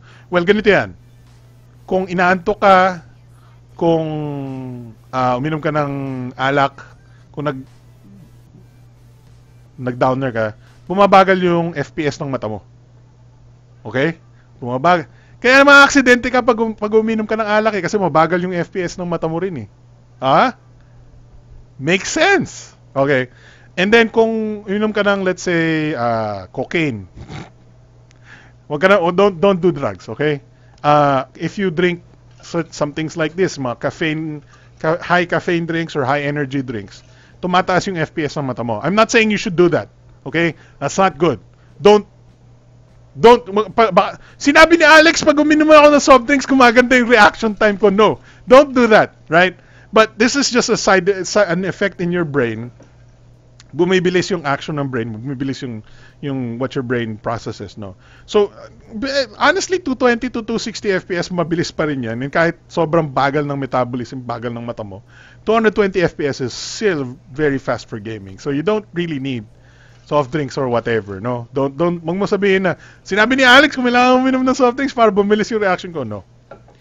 Your normal reaction time is sabi i-average mo yung 220, 260, 240 FPS. It's more than enough. Um, so ano ba yung point ko doon? Nasaan na ba ako? Nasaan na ba tayo? Uh, all right. So here uh, balik tayo dun sa make, make, I think na I think bago ako dumating din sa ano eh. So 144 Hz na usapan eh. Uh, all right. Ano kinaganda ng 144 Hz monitor? Okay, so hopefully medyo you, we can relate what I just talked to you about dun sa 144 Hz monitor. Because uh, most games uh, and developers will say, okay na yung 30 FPS, okay na yung 60 FPS. Um, and then sa PC, the PC master race, we know that it's not. I just told you not five minutes ago that our eyes can see minimum of 220 FPS, a maximum of 260 FPS. So the 60 FPS myth the 30 FPS myth is not true. The more FPS up to a max of 260, the better. Yun ang ano doon. Hence, scientifically proven na. Right? So, the reason why importante yung sinasabing 144 Hz monitor is it refreshes 144 times per second. Like I said, our IC minimum 220 times per second. The monitor gives us 144 times per second. So, hindi totoo na hindi mo makikita yung difference between kasi a lot of people say hindi mo makikita yung difference between 60 hertz and 144 hertz. That's not true. It's absolutely true that you will see a difference between 60 refresh rate, 60 frames per second, and 144 refresh rate. Because we see everything minimum 220 frames per second. That's why kung nagmamaneho ka, ang ganda nung, kung totoong buhay na nagmamaneho ka, everything is happening kind of slow motion. Pero pag naglaro ka ng video game, 60 FPS, medyo, ah, but ah, ang bagal ko mag-react. Anyway, uh, for the most part, 60 FPS is okay. For the most part, for most of our brains, for most of our most of our gaming, 60 FPS is okay. Even 30 FPS is okay. But if you're playing competitive games, if you're playing games that are super dependent on reaction time, the better the refresh rate, the better. Because, like I said, we our eyes see 220 frames per second or more. The closer you get yung monitor mo to get up to 220 frames, 260 frames per second, the better. So, uh, ang, ang ano dyan is yung 144 Hz is about as close as it can get right now to natural, realistic eye frame rate. Merong monitor, I'm not saying hindi ah, very rare, actually hindi super rare, but, but uncommon na lang. There are 240 Hz monitors out in the wild today. Meron si Asus available sa Pilipinas. 240 Hz monitors. Yun halos basically our eyes na yun. Basically our eyes. 240 Hz monitor. So, if you really want the number, the topmost parang super reaction speed when it comes to monitor refresh, you want to get the 240 hertz. I don't recommend it so much. Okay na ako sa 144. Anything, ah, ha, god damn it. Like I said, naka 60 hertz lang ako. Naka 60 hertz lang ako. Ako. Naka 60 hertz lang ako. Pay, pity me. but, yun ang point ko. So, um,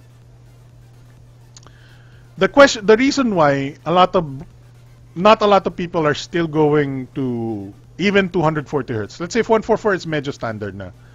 The reason why not a lot of people are still going 144 Hz is hindi kaya ng PC nila.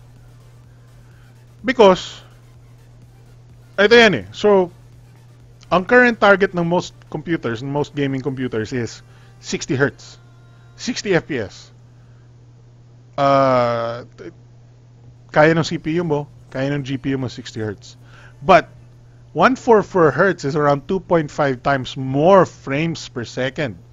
No, actually, ilan ba? 6 times? Uh, 0.6 times? I don't know. I don't know math. Hindi ako marunong mag-math. My brain hurts now. One for let's say 2 point something times, more than 2 times faster frames per second than 144 hertz versus 60 hertz.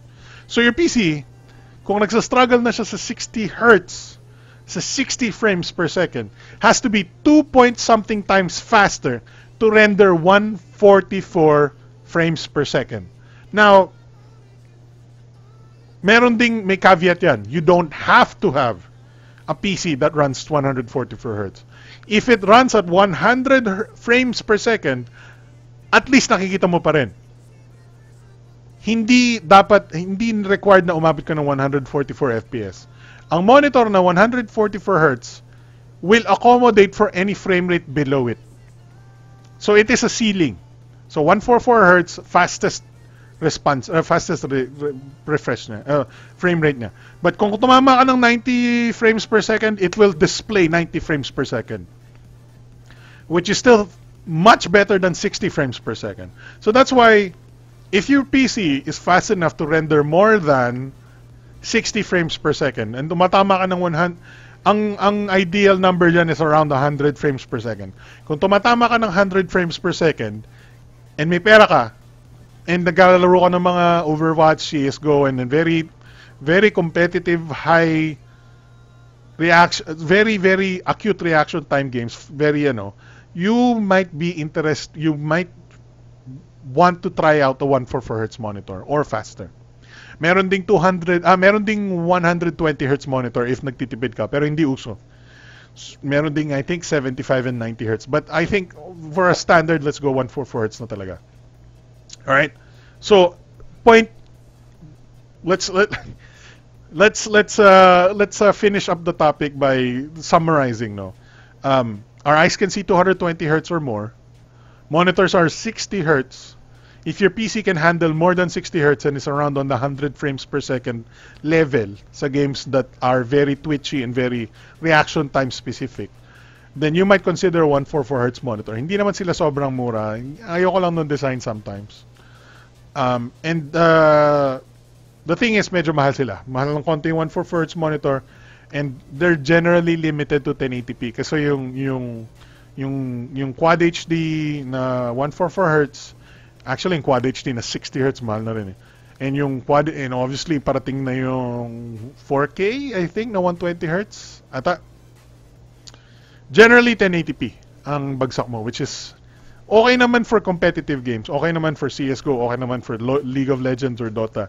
Ah, sa totoo lang, you, a lot of the League of Legends or Dota players na professional, they use higher frame rate, they use 144 Hz kasi mabilis yung reaction kahit na si, kahit na hindi masyadong like aim aim specific yung uh, 14 yung yung League of Legends or Dota. Yung certain projectiles nakikita mo at much better hindi okay, sabihin natin ang projectile is traveling fast.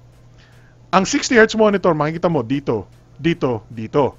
Pag 144 Hz monitor makikita mo yung projectile dito, dito, dito, dito, dito, dito, dito. It's much more smooth sa mata mo. Sorry kung may, medyo malalim yung explanation or medyo mahirap i-explain.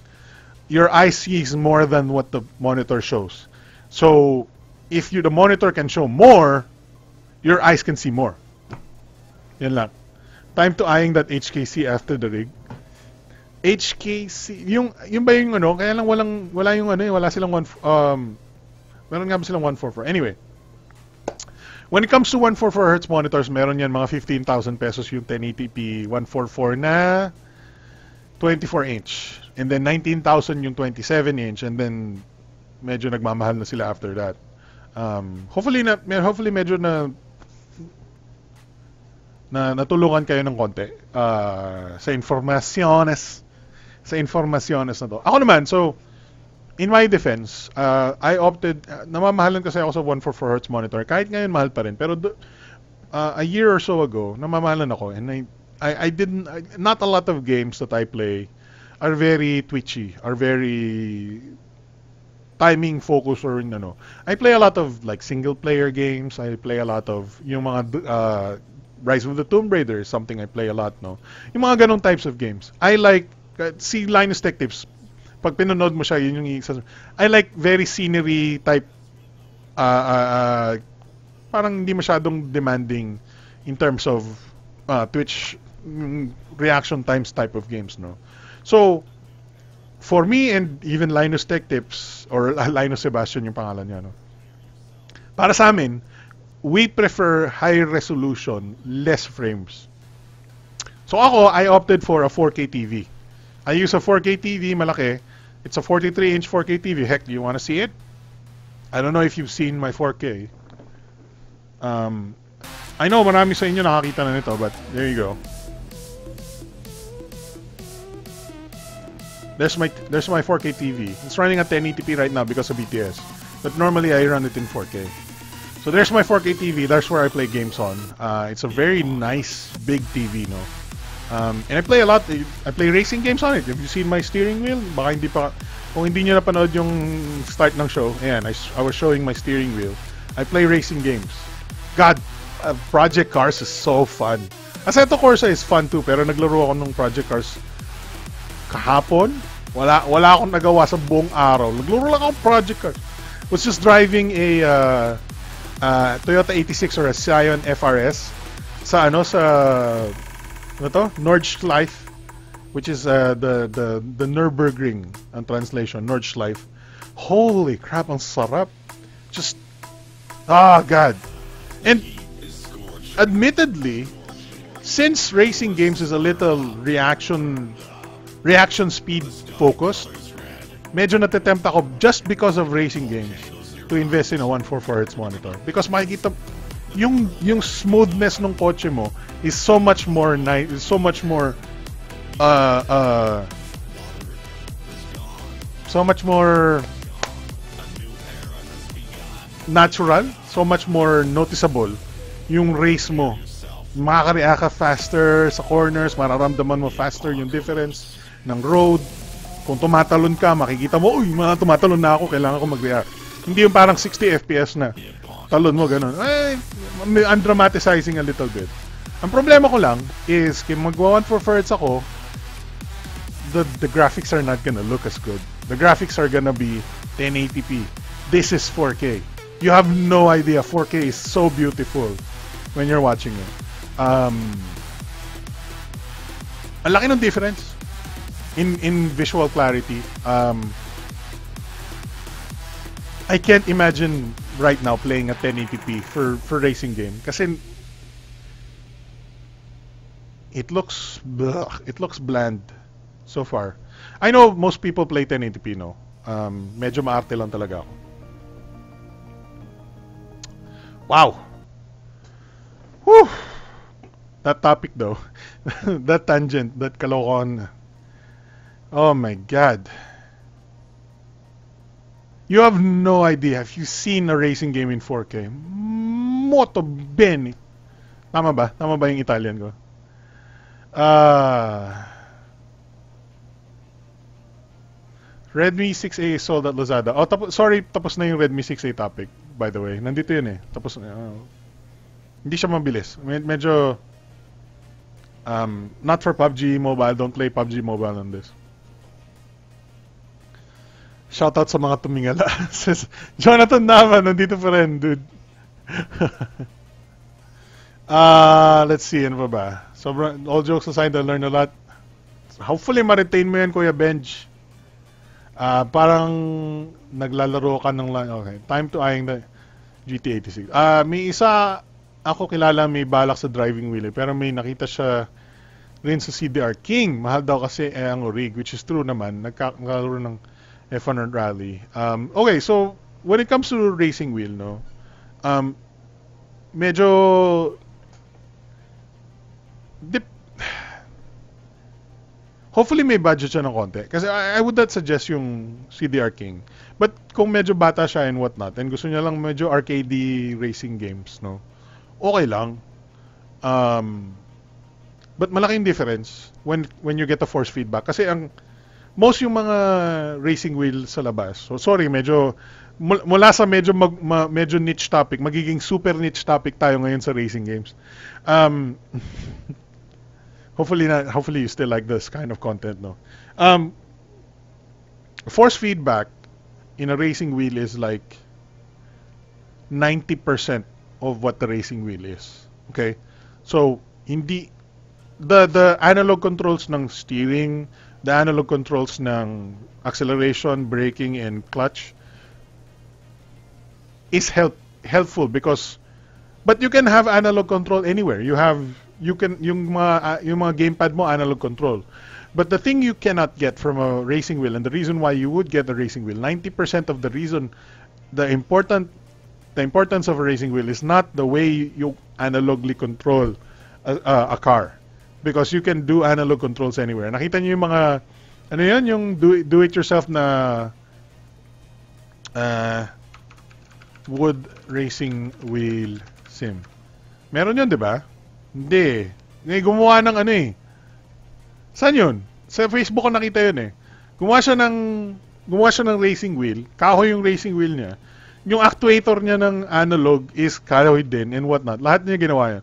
The reason why you but unfortunately wala siyang force feedback. The reason why force feedback is so important is siya lang yung way mo para malaman mo kung anong ginagawa nung nung kotse mo sa sa ano sa sa sa daan. Ah, example. Ang race itong G G27 ko na Logitech. Pagka tumalon yung kotse mo, tumalon yung kotse mo, 'di ba? Lum- Umangat ng konti yung gulong niya sa sa sa, sa daan. Yung G4560, G, G4560, yung Logitech G27 mo, gaganon yung ano, yung, yung wheel niya, gaganon yung, yung, actually meron siyang actuator or whatnot, yung may mga vibration siya, may, may steering feedback siya, na yung, yung, yung mismong steering wheel mo, mararamdaman kung magano, gumaganon. Okay, bukod pa nag, let's say, nagmamaneho ka. So, tapos, yung gulong mo, lumabas ng konti sa, ano, sa daan. So, nasa, yung gulong mo, nasa, nasa graba, nasa nasa soil, ano yung soil? nasa nasa lupa. So nagmamaneho ka, tumama sa lupa yung gulong mo. Mararamdaman mo yung G27 na wheel, yung right side niya medyo nagsishake. Mga ganun yung ano mo, yung wheel mo. That's force feedback. Bukod, meron pa, meron pa. Okay. So, nagmamaneho ka, di ba? Ginanon mo, yung, yung, yung turn mo is pakanan, right? So, nagmamaneho ka ginanon mo tapos bina, bina, bina, binarega mo pa kanan yung ano yung yung uh, yung steering mo. Yung force feedback niya, lalabanan ka. Pag ginanon pa, gaganunin mo yung steering mo. Why? Because yung kotse mo, ginanon mo muna sa kaliwa, hindi ba? So yung kotse mo pa ganito pinalo mo yung steering wheel pa ganito, yung kotse mo lalaban sa'yo, gaganito yung kotse mo, pak, gaganito yung kotse mo, di ba? So, pag ginano yung steering mo, dapat lalaban yung kotse mo. Po, gaganunin mo siya. That's force feedback. Hindi nagagawa ng mga, mga CDR King yun. Unfortunately. So, ang CDR King is, wala ka nararamdaman. Ang CDR King is, lahat yan, kahit yung mga cheap na, marami sa Lazada actually. Dami ako nakikita kasi marami akong na-research na steering wheel. So, let's go to Lazada uh, racing wheel. Mga ganyan. Uh, yeah, yung mga ganito. Yan, yan. Ito, ang dami nila. Mura nga lang to eh. 459, no? Di ba? So, uh, yan, ang dami niyang supported supported na areas ano, supported na games and whatnot and ed system. Ang problema niya, wala kang walang pakiramdam. So nagmamaneho ka, ginanon mo yung steering mo, ginanon mo kaliwa, tapos ginanon mo, wala, wala ka nararamdaman, okay lang. So yung yung tendency ng kotse mo, hindi mo alam na magte- may tendency yung kotse mo na pumalo sa kaliwa. So yung yung kotse mo nakaganito, 'di ba? Kinaliwa mo kanan eh. So gumaganon yung kotse mo, hindi mo alam.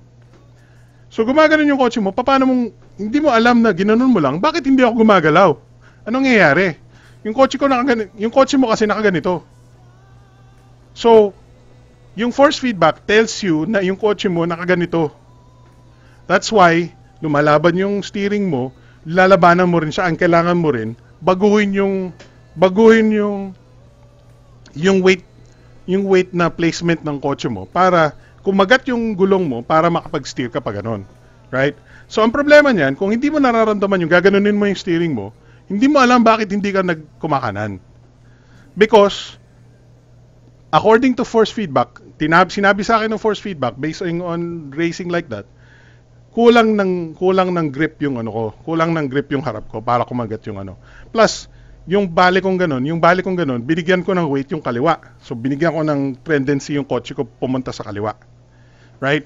May mga ganun. Um, so force feedback helps a lot in giving you a a good idea of what your car especially the wheels are are are doing on the ground. Um, will will you be able to race decently with one of these? Sure. Kaya mo namang gawa ng paraan kung hindi mo nararamdaman yung gulong mo, hindi mo nararamdaman yung yung shakiness ng kotse mo or kung kasi for example, yung kotse kung yung yung yung gulong mo nagsispin tapos walang tinat hindi tumatama sa yung let's say tinapakan mo yung accelerator tapos wala siyang grip Gaganon yung wheels mo, di ba? Bakit hindi ako maandar? Eh kasi gumaganon yung wheels mo, hindi ko makagat. So, in in one of these racing wheels, uh, hindi mo mararamdaman na gumaganon yung wheels mo. Hindi ko makagat. But they here, dito sa, dito sa Logitech na na may force feedback, mararamdaman mo, gumaganon yung wheels mo. Mararamdaman mo na, Hu, hindi ako makagat. Teka lang, adjust ko yung adjust ko yung acceleration ko. In-adjust ko yung acceleration ko, gaganon yung wheels mo. Baba, babagal ng konti. Pak! Kakagat yung yung yung wheels mo and then okay, saka mo dagdagan ng acceleration. Boom! Okay. Gaganon ka na. Pero kung hindi mo alam yun, tinapakan mo lang yung accelerator mo, gumagano siya. Ay, ano nangyayari? Bakit di ako gumagalaw? Or hindi ako nag hindi siya nagpo-push kung saan ako nagpo-push. Because wala kang grip. Hindi ko Bitawan mo ng konti accelerator mo, gagano siya, babagal siya, kukuha siya ng kakagat na siya, kakagat, kakagat, kakagat, baba, baba, baba, baba, baba. So, uh, masyado nang malalim. I guess it's it's too much into the simulation. My my my take is if for casual gaming lang, for casual racing lang, yung mga need for speed, mga whatnot, okay naman, just go give it a try, especially yung mga affordable lang, yung CDR King, affordable lang yun. Medyo sirain, pero okay lang. Kung kung casual lang na racing, kayang-kaya, walang problema. Casual and arcade-like racing, kayang-kaya. But, um, binibigyan ko lang ng reason why importante yung force feedback. Binibigyan ko ng importansya why ang difference nito or yung mga CDR King variant versus yung totoong racing wheel for force feedback. Tingnan, tingnan mo to, magkano to? Magkano itong pinaka maghanap tayong pinakamura, no? 4,000. Nakita ko 2,000 sa taas eh. Eh, ito 2,909. So mas mura pa rin ito. Ito yung pinakamura na nakita natin. So look at this. This one, yan. I mean, it doesn't look terrible. Wala lang talagang force feedback. So, uh, degree rotation, ABS gaming vibration. So, may vibration siya. I don't know kung accurate yung vibration or not, but it vibrates. Um, steering wheel with pedals. So, okay naman. You know, if you're just gonna play occasionally racing games, hindi ka ser- so, super seryoso, or bata lang siya, or medyo nagsusubok lang, nagsusubok ka, pwede mong subukan lang with uh, a simple non-force feedback racing wheel. Kap- Kaanin mo lang na kung gusto mo talagang pumasok sa sa hobby na racing, no? Or gusto mo lang talaga mag-trip-trip na okay, meron lang akong ginagalaw. And it it really helps to, naman na meron kang accuracy in terms of steering and actually accuracy in terms of acceleration. But to really want to be getting into this kind of thing, you want force feedback. Um, teka lang, babasa ako ng comments and I'll give you uh, some alternatives. Ito, if, I just want to say, uh, yung racing wheel ko na ito, nabili ko second hand for 7,500. So, hindi siya masyadong, uh, yung brand new nito, 20,000 eh. kulang pa, kulang, may bibili ka pa ng extra part. So, uh, a little bit annoying na medyo mahal siyang, ano, then 7,500 is no joke, right? 20,000 is serious no joke, but medyo medyo lucky ako na nakakuha ako ng 7,500. Kahit pa paano, if you just look a little bit, you know, more actively sa mga mga second-hand places, you might be able to find one. Uh, kung kung interesado talaga sa medyo serious na racing scenario, uh, yung sino to? Yung kilala mo, akala ko pamangkin mo or something eh. Um, so here's one. Minodify niya na to. I like this modification. So, let's go. Tanggalin natin yung mukha ko sa screen. I like this one. So, here's his steering wheel. Um, in-upgrade niya yung steering wheel. Pinalaki niya tong hawakan niya to. Pinaltan niya yan, minodify niya. That's pretty cool. That's not bad. Okay pa rin ako doon sa standard. Um, medyo okay din yung table niya. Mukhang bakal eh. Uh, pero hindi yata binibenta yung, bak- yung table. Eh, yung ano niya. Log... Ay, bakit ano to? G... Bakit ganun yung G27 niya walang buton? Hindi ba G25 ito? Baka G25. Mas lumang version yung G25. Kasi yung G27 may buton. Pero, eh, anyway. ito, feeling ko yung, yung actual steering wheel na tinanggal niya is G25. Anyway. Sorry naman. Um, also, you wanna go to maybe Facebook. Dito ako nakabili. Sa Facebook ako nakabili. Ay, hindi, hindi pala ako sa, sa OLX pala ako nakabili. So, punta ka sa marketplace. Chamba-chamba lang. Chamba-chamba lang. Logitech G27. Yan. So, meron dito 10,000. Medyo mahal. 9,000. Ito yata yung sira yung clamp eh. So, in good condition, 9,000 pesos. Bolt-on steering wheel. minor issue. Cham- chamba-chamba to kasi minsan hindi talaga sila. Yung pag mga over a week ago, minsan sold na. Yan, chamba-chamba, chamba-chamba. G29 yung bago. Ay, nako, anong nangyari sa Facebook ko? Logitech G29. Yan, ito yung mas mahal. Ito yung gusto ko sana. Ito, 16.5 oh. 16.6. Actually, merong sa OLX na 15K. Nasaan na ba yun? Yung rush sale yun eh. Ay, Logitech 29. G29. May, may rush sale nito. Ayun, tingnan mo. 14,000. Ito actually maganda to kasi bago yung G29. It, this is the brand new model. Ang problem nito is wala siyang included shifter. So bibili ka pa ng shifter which is around 3,000 pesos. So yung tong 14 mo, dagdaga. Pero ang ang brand new nitong G29 is pakita ko sa inyo. Ah. categories. Ay, anong pinindot ko? Ah, PlayStation accessories. So, asa na yun? Ito yun, ito yung brand new. 19,009. Actually, actually, natatempt akong bilhin ito noon eh. Mga one, one month ago, munti kong bilhin to. G29 na 20,000. Kasi mura na yung 20,000, dati 24 to. Ito, ito mo yung original price, 22,500. Ay, nako. Um, pero na, I'm very satisfied with the G27 and sakto lang, nabili ko 7,500. Thank you sa nagbenta sa akin. Punta pa akong mawa ng Sunday. Yun, um, I'm just trying to show uh, give you the reasons why force feedback is important, ano. Um, like I said, kung casual casual racing lang, kung pwedeng walang force feedback, no problem. Anyway, um, holy shit, ang ganda ng force feedback. Bakit? Sa dramatization ko ba? I think I saw a DIY using a mouse and a seat. Yeah, yeah, yan yata yung nakita ko. Ah, wow, force feedback. Hindi kaya sa mga arcades sa takte mga nilalaro. May konting force feedback sila mga initial D, pero konti lang. Ah, nakikita mo yung wheel nila minsan pag pinitawan mo, 'di ba? Gumaganon. Um, Ah, oo nga, yung mga ganun. may mga, hindi, may mga, may mga games na walang force feedback kasi talagang pag, pag hinampas mo yung steering, gumagano, gumagano.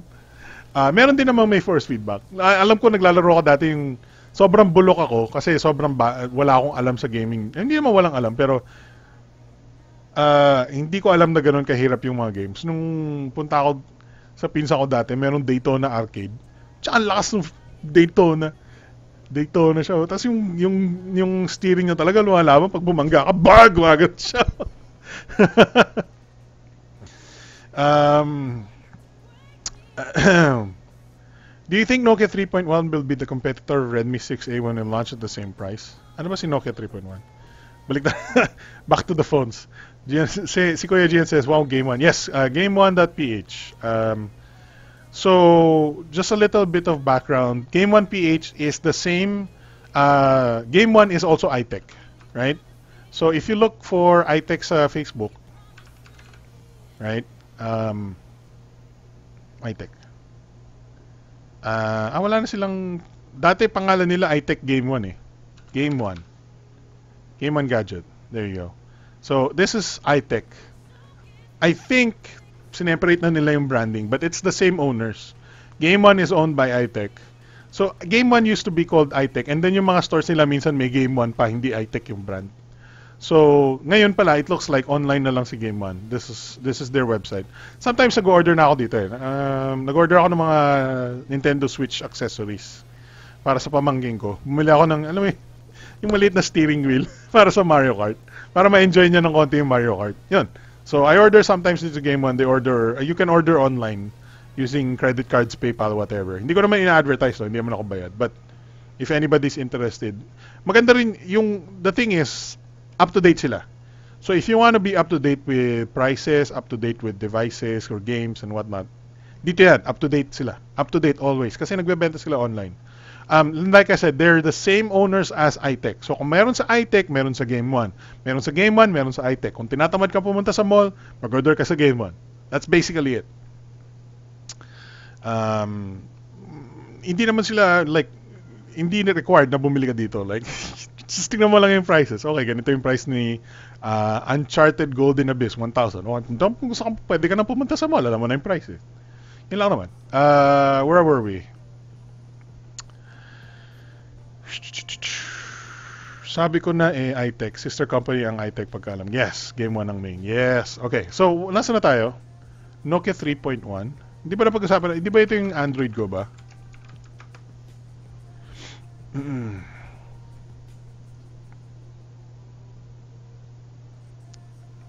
Lakihan natin ng konti. Chwink! Yan.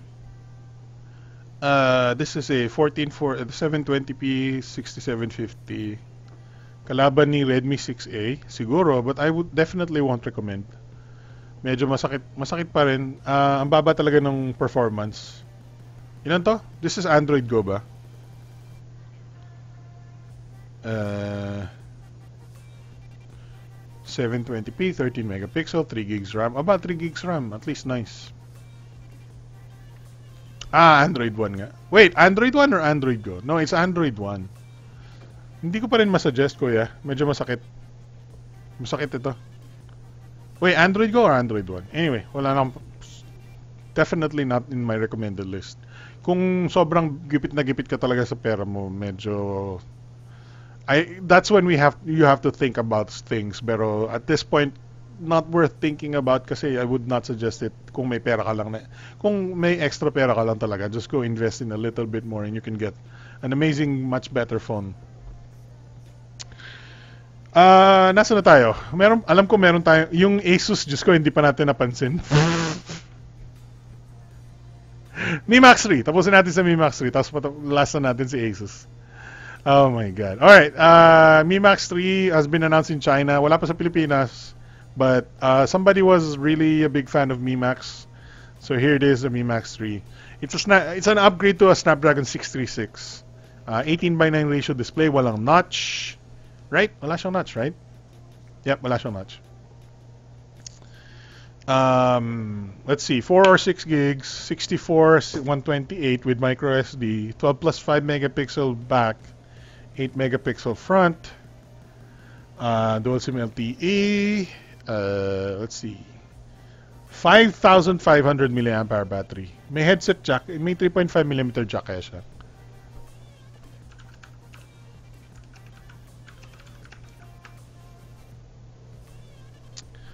Let's see. Uh, headphone.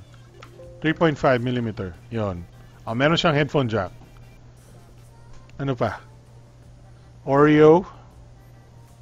It has uh, it shoots 4K 30 FPS. Nice. Mm, and then ang estimated price is 13,005. That's not bad. That's pretty good, actually. So it's like this. It's a very similar product to this guy. May baterya pa ba ako? May baterya pa ako. Yay! Very similar to this. Um, Teka lang. I'm trying to get the brightness right para para makita nyo. Very similar to the Redmi Note 5, uh, which is 12,000 pesos, right? Um, 3,000, wait, 4,000 milliamp battery, Snapdragon 636, dual camera back with AI, single camera in front, um, Snapdragon 636. I don't remember. I think this is a six-inch display, not holy. What seven-inch display? Ang laki! Holy crap! What the fuck?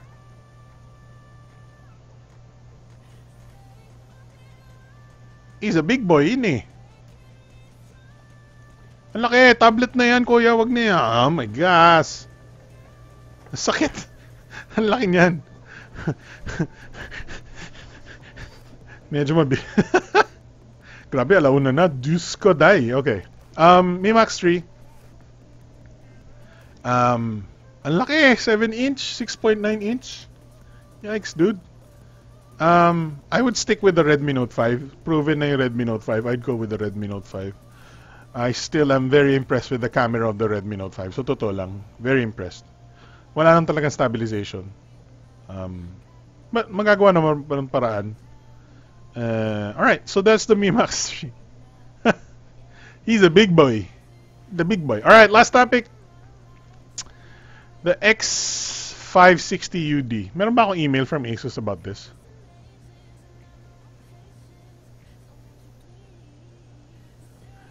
Dito na lang ba tayo sa Yugatech magbabasa forever? Ah, Asus ah, X560UD. Okay. Baka may specifics eh.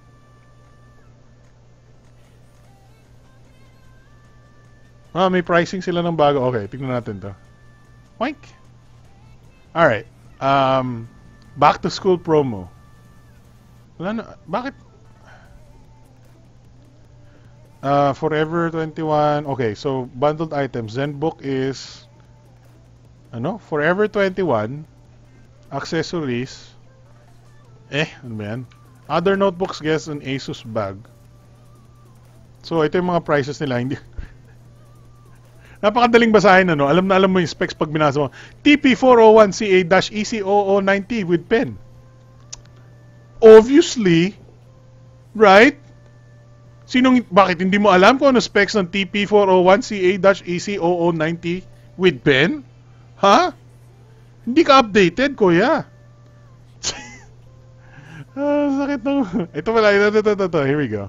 560 UD. 560. Ay, isa lang yung 560 UD dito. Wait, baka meron pa iba. Walang tinulong. Walang tinulong ang ating search. hindi, hindi tayo natulungan. Basahin na lang natin sa Yugatech. ang dami tinulong, kuya. hindi talaga ako vlogger. Alright. Um, Asus 560UD, short slimmer version ng 570UD. I heard they will launch Nokia 3.1 next month or September as per. Wag na, wag, wag mo nang, wag ka nang magtanong, wag, hindi, ba, Kuya Barista, medyo mababa yung specs eh.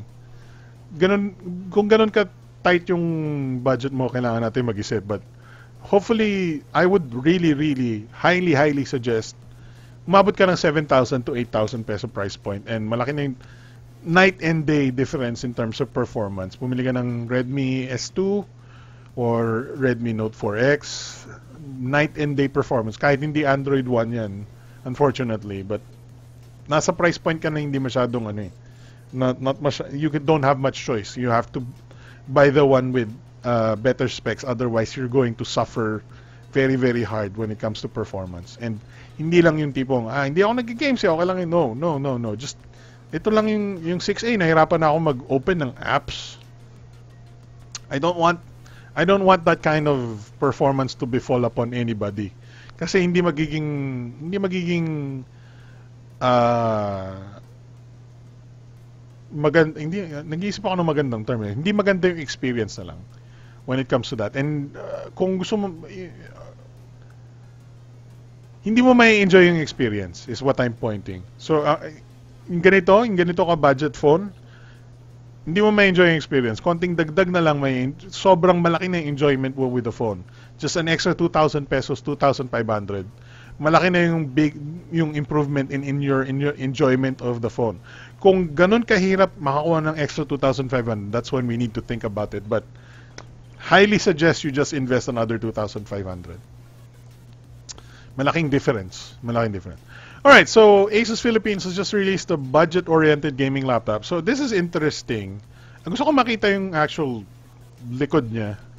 Ano to? Ang pangalan? X560 UD. So, spoiler alert lang. Spoiler lang talaga dito sa laptop na to. Ang processor niya is not for high-end gaming, high-end performance. Ang processor niya is, maganda yung design ah, actually. Yung processor niya is more for ultrabook. And ang ultrabook pr- processor is not for full blast high-end performance. It's more for saving battery life.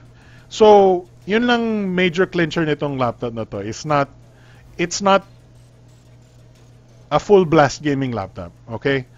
However, meron siyang GTX 1050. Meron siyang GTX 1050. Which means kahit na hindi full blast yung processor niya, the graphics card can probably do good enough that you will be able to play games on it kahit hindi full blast si CPU. And uh, meron ako ni-review ganito.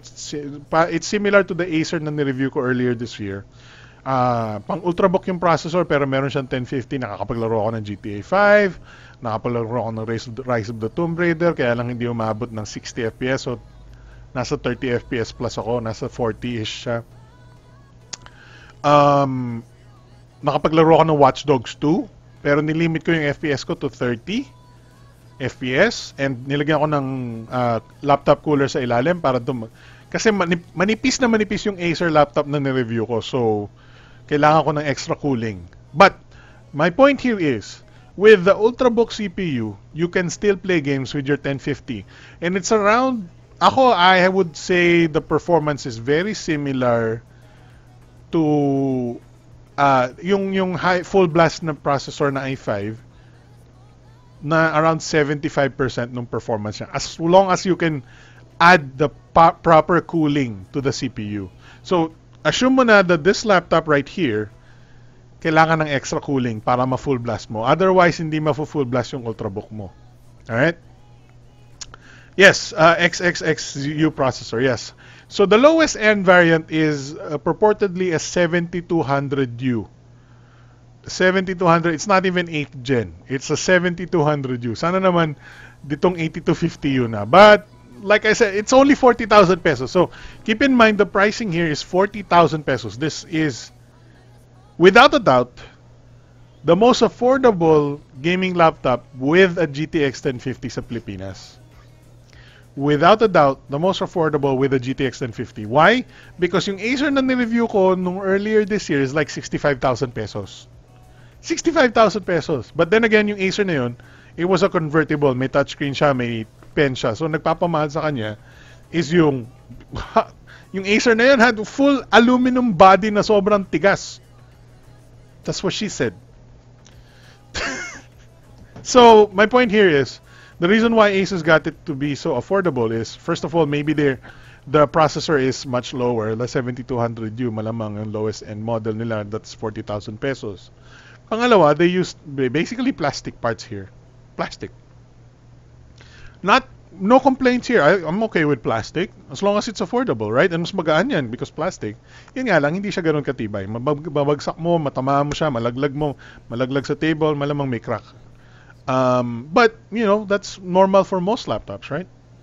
So, uh, X6, X, X, X560, the name though, I like the design. I'm sure medyo papalya, papalpak ito sa pagdating sa in-person. Malamang medyo pag kin- kinatok mo ng konti, medyo pakat, pakat, pakat, lumalatok siya. Kaya, pakat, pakat, pakat, pakat, gumagana siguro ito pag kinatok mo. But at least in the, in the pictures, it looks really nice. And I love the fact that there is no red accents. Hindi siya aggressive gamer design. Thank you, thank you Asus, thank you Lord. Thank you, Alien. Hindi siya gamer accent. Thank you. Thank you, Asus. For Christ's sake, thank you. So apparently, it's on. Maybe it only comes in blue. I don't know. Um, amazing performance according to this. Uh, blah blah blah blah blah blah. Up to Core i7, and Core i7 niya is not the high-end full power i7. It's the 8550U. Now, nakakatuwa dito is the 8550U is a uh, what 6 core 6 core 12 thread pero mababa yung pros, yung yung power requirement yung power level niya because it's meant for saving up battery no um, but the 7200U naman the 7200U is a 2 core 4 thread 3.1 gigahertz uh, medyo mababa but it can handle games no problem the one I reviewed was this the one I reviewed was 8250U which is a 4 core 8 thread wow Hopefully, maliit lang yung difference between the 7200 and 8250 para mag 8250 ka na. Para yumaman ng konti yung processing performance mo. But keep in mind, like I said, most likely this will need cooling kasi manipis din siya eh. And there it is. I like the design. It's pretty nice. It's pretty sleek. Medyo guwapo. And uh, ang kailangan natin malaman yung specifics nung version. Okay, tingnan natin. Uh, Vilman. Meron ba sa Vilman ito? X560UD. Wala ata, no? Hindi siya available sa Vilman siguro. Damn it, wala. Uh, alright, Nano Edge 15.6 Full HD, 7.9mm Nano Edge bezel, blah blah blah, blah blah blah. Crystal clear sound, blah blah blah, blah blah blah. Eh, stay cool. Okay. Laptop cooling is important because it directly affects performance. Ice Cool Technology uses smart fan control. Ilang heat pipes? I want to know how many fans and yung design ng sa likod but wala, hindi na napapakita yun. Specifications. Okay, tingnan natin. Alright, so ayun yung processor choices niya. Pinakamababa, 7200. Um, wala tayong pakialam sa Windows. Obviously, Windows yan. Um, up to 16 gigs of RAM. I wonder, siguro 4 gigs yung starting nito. Nasaan yung RAM? Nasaan yung RAM? Up to 16 gig. Wala siyang, wala siyang minimum. Um, wait a minute. Merong hindi IPS? Yan lang. Wait. Pero 45 dig 45% NTSC pa rin. So you can get a 1050 with 4 or 1050 with 2 gigs. Both are both are pretty decent. No problems there. Uh, hard drives, here we go. Siguro ito yung lowest end, 1 terabyte SSHD. Wait. No, hindi siguro. Feeling ko ito yung lowest end, 1 terabyte 5400. Yan. Feeling ko yan yung lowest. Siguro. Hindi naman siguro bibigyan ng 500 gig, ano? Masyado na mababa yun. Malamang ito 500 gig par- paired with maybe 256 SATA or siguro, uh, SSD siguro. Um, and then the second highest end is 1 terabyte na 5400 SSHD. And then the the higher higher than that is 1 128 with 1 terabyte and then the highest siguro is 256 with 500 I don't know whatever. It's not a bad thing it's not a bad laptop for 40,000 pesos for sure. Kasi may 10, minimum din 1050 kay walang walang variant na walang GTX 1050 yun ang maganda dito. And this this will this will do you fine. This will do you fine for most games. Wag ka lang mag PUBG kasi malakas sa CPU yung PUBG um, tinesting ko na yung, yung Acer na ni-review ko sa PUBG, hindi kaya. Nag-overheat. Uh, bumababa yung frames. Kaya niya umabot ng 40 frames pag malamig, pero hindi ko kayang i-cool masyado. Siguro, maybe Asus has got a better cooling solution. Gusto ko makita yung loob, but wala tayong magagawa, hindi naman mabuksan eh. Um, like I said, 40,000 pesos is a great price point for this. Um, bo, kung ka, kung hindi ko man ma-testing yung thermal performance niya, kung hindi ko lang malaman yung yung thermals niya, yung whatnot, I think this is a great laptop to recommend for a lot of gamers out there. 40,000 pesos, it gets you out uh, yung it's get your foot in the door. Your processor is not bad as long as you can you do some laptop uh, ano. Ang kailangan mo lang gawin dyan for advanced users, well, hindi masyado, the number one thing you should do is add a laptop cooler. The number two thing you should do for a little bit more advanced user is da- downvolt mo yung CPU mo. The, when you downvolt your CPU, the, the the voltage that goes into it is slightly lower than usual. And when the voltage is slightly lower than usual, the temperature that your CPU goes to is slightly lower. Um, but, kailangan mo i-testing muna if the lower voltage is kayang i-handle ng CPU. Right? Medyo advanced, little bit of trial and error there pero hindi siya makakasira ng CPU unless meron kang ginawang katangahan. Normally it's 1 point, uh, ano ba yan? 1.25 volts or 12 point some no, 1.25 volts if I'm not mistaken. Or yeah, 0.125, something like that. So you just make it around 1.2, 1.1 volts and then bababa ng konti yung temperature mo by at least around 5 5 degrees. That's huge. 5 degrees is huge. Anyway, sorry, Major advanced yun. Um, what's my point? This is a very good entry-level laptop for 40,000 pesos.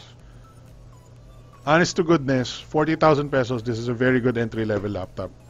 Um, I don't know, like, is there something you would say you're not liking sa laptop na to? Holy shit, magpo 4 hours na tayo sa, sa BTS eh. Ang haba ng show. Anyway, uh, ayoko na. Let's let's end the topic agad kasi I was waiting for comments pero questions pero I think that's a great entry level laptop. Uh kung kailangan mo gawin like uh, sino nagsalita si Emac ba 'yon? Ah, hindi si uh, ano? Ains Catastrophe, I remember. Si Ains daw, meron silang biniling ganito, in-upgrade nila yung uh, SSD. And yung RAM is seemingly upgradable din, sabi niya. So that's a very good thing because you buy the base model, you just buy an, uh, a RAM stick and an SSD stick, upgrade your system agad. Medyo sad na baka ma, ma, maano yung warranty mo pero mm, it's annoying that most brands still do that but hopefully Asus is a little bit more open when it comes to warranties like this. Tanungin mo sa bibilan mo if ah, ma- malabo pa rin eh. Medyo it's tough, it's tough. But uh, if you're a little bit of a risk taker and you want to save a little bit money, buy the base model, upgrade mo yung CPU, eh, yung yung yung SSD, ilagay mo ng SSD, ilagay mo ng extra RAM para tumaas yung performance. All right, uh, that's it for the that topic. Hopefully, medyo na, na ano kayo dyan, na, na, enlight, na, na enlighten na, na, na, na kayo. uh, sana quality pa rin. Don't worry, Asus is pretty decent. They have their warranties and everything talaga. But you just need to extra... Ang siguradong min, kailangan mong gawin dito is extra cooling para makuha mo yung maximum performance ng system na yun. Alright, so it looks like we're winding down. Uh, konti na lang yung ating mga questions. Let's see what's going on here. And let's go full screen. Oh no, what's that button? No, it's an Acer live stream thing. A Complink, there we go. Sige, tingnan natin si Complink. Full specs ba to? Nangyari? Okay. So, we have, oh, 8250 agad yung 40,000. Hindi siguro. Wait. Uh, get it as low for 40,000. Here are the specs of the X560. Sinabi niya yung 8250U. That's the i5 8 Gen eh. 4 gigs of RAM, 1 terabyte storage, 1054 gig. Full HD IPS. 2 year global warranty. Global warranty, that's nice.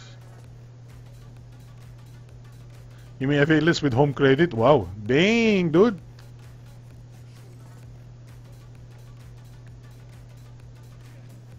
Originally a Santa end of July, which might have been reason stocks only began arriving, blah blah blah. With SSD slot question mark? Yes. Hoy, sabi ni Complink, pwede mo i-upgrade. Oh, bait ni Complink. At the best. Uh, honestly, I like Complink. Dito ko binili yung isa kong laptop sa kanila eh. Uh, long time ago. I think it was four years ago. Four years? I guess it was four years ago. Um, you can upgrade your RAM and SSD according to this. There.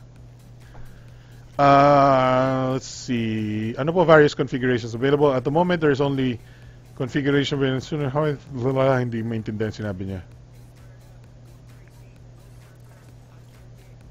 This is not bad. Uh, hindi ko, I don't think the 8250U is gonna be 40,000 pesos though. Baka 45? Kasi sinabi nila 8250U, dapat 7200. Starts at 7200U siguro. But I don't know. Let's let's give it the, if we give them the benefit of the doubt and maybe this is the 8250U, that's a pretty good processor for 40,000 pesos and you get a 4 gig 1050. Hindi siguro base sa tingin mo ba sa tingin niyo ito yung base model for 40,000? That'd be great. That'd be great. All right. Um, let's see here. Uh, okay naman ang U, medyo mabagal lang sa CPU, pero siya gamit ko pang gaming ha, samahan ng 840M. There you go.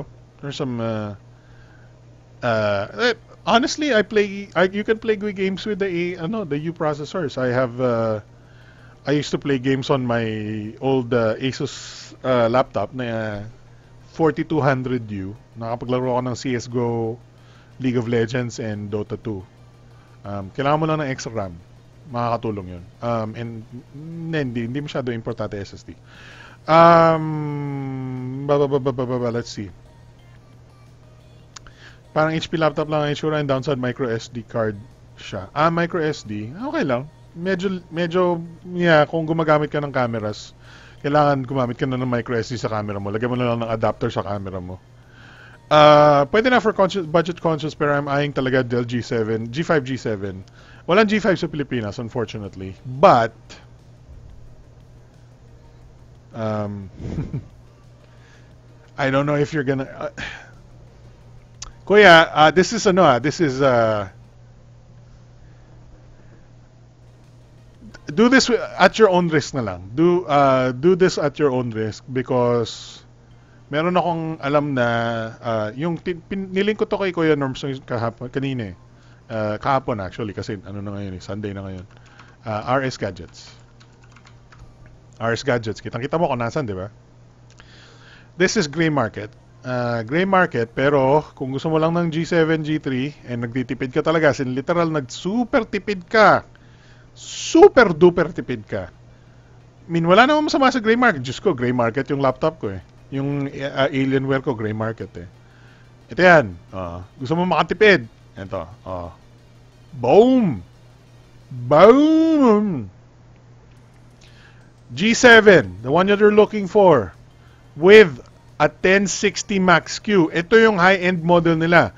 Ang official price nito sa SRP sa Pilipinas, ginawa ko ng ginawa ko ng video 'yan. Ginawa ko ng uh, ano, it's 99999 pesos. Nasaan na ba 'yun? Ginawa ko ng blog post yun. Nasaan na 'yun? Ah, ito, ito, ito, ito. So, the one the model I'm talking about is this one, the 9990. 99990 i7, right? So this is the model we're talking about. It comes with an 8750H, a 16 gig RAM, 256 SSD plus 1 terabyte, and 1060 Max Q, right? That's what we're talking about here. The official price of Pilipinas is 100,000 pesos. 100,000 pesos. Um, but so RS Gadgets, keep in mind, I'm pretty sure this is gray market. Same model, i7 8750. Eh, ah, 8 gigs lang ito. What? Bakit 8 gigs lang ito? Anyway, 8 gigs lang siya apparently and 1060 Max Q, 6 gig. At only 68,000 pesos. So, kung naghahanap ka talaga ng super bargain, super bargain, and you're okay with gray market, ri- risk of gray market issues, um, pwedeng pwede to. I, honestly, ako, I would risk it. 30,000 peso difference, I would risk. I would hella risk it. Ito, may G5 din sila, oh. G5! Ah, hindi ko alam, hindi ako masyadong familiar sa prices ng G5. Ah, apparently, this is 63K. Wag na to. Doon ka na sa, six- doon sa 68K ka na. i7, 8 gig. Oh, doon ka na sa, dito ka na, 1060 Max yun eh. Alright. Ah, meron pa to eh. G3. May G3 ba sila? Akala ko may G3 sila. May video sila in-upload ni Dave Ah, wala na ata. So yun, check mo RS Gadgets. Ah, akala ko may G3 pero wala wala pa ng G3. May G5 sila if interested ka. Um, okay naman dyan sa RS Gadgets at Jan Store. Dyan din ako nabili minsan. I see, I see. Yun, so like I said, may risk lang na wala mahirap magkapa-warranty. But mura siya eh, 30,000 yung difference. Ang laki yung difference, dude. Sakit sa ano, sakit sa bulsa. So, yun lang. Yun last, that's how we'll end our show. Last ano, last suggestion if you're really interested in the Dell G5, G7. Apparently walang G3, akala ko may G3. Alright mga kuya, ang lakas ng ulan sa labas. Narinig niyo ba yun? Diyos ko, grabe. Patayin ko aircon ha. Ang lakas ng ulan, dudes. Man. Bshhh, mga ganun sa amin, oh. Alright, mga kuya, that's it for our show. Sobrang umabot tayo ng 4 hours ata. Diyos ko, 4 hours. Oh my God. Paano tayo umabot ng ganito? Ano nangyari sa atin, mga kuya? Hindi ako na makipagkwentuhan. 4 hours. Paano ka nakipag-inuman? Okay mga kuya, thank you for watching. Hopefully marami kayo na, na pick up na informaciones and then yung hopefully you like our discussion about the uh, refresh rate, refresh rate. Uh, na, na-enjoy ko yun. Kasi yun yung, th- those are the th- those are the things I I really really live for, ano. Hindi yung um what is it? Hindi yung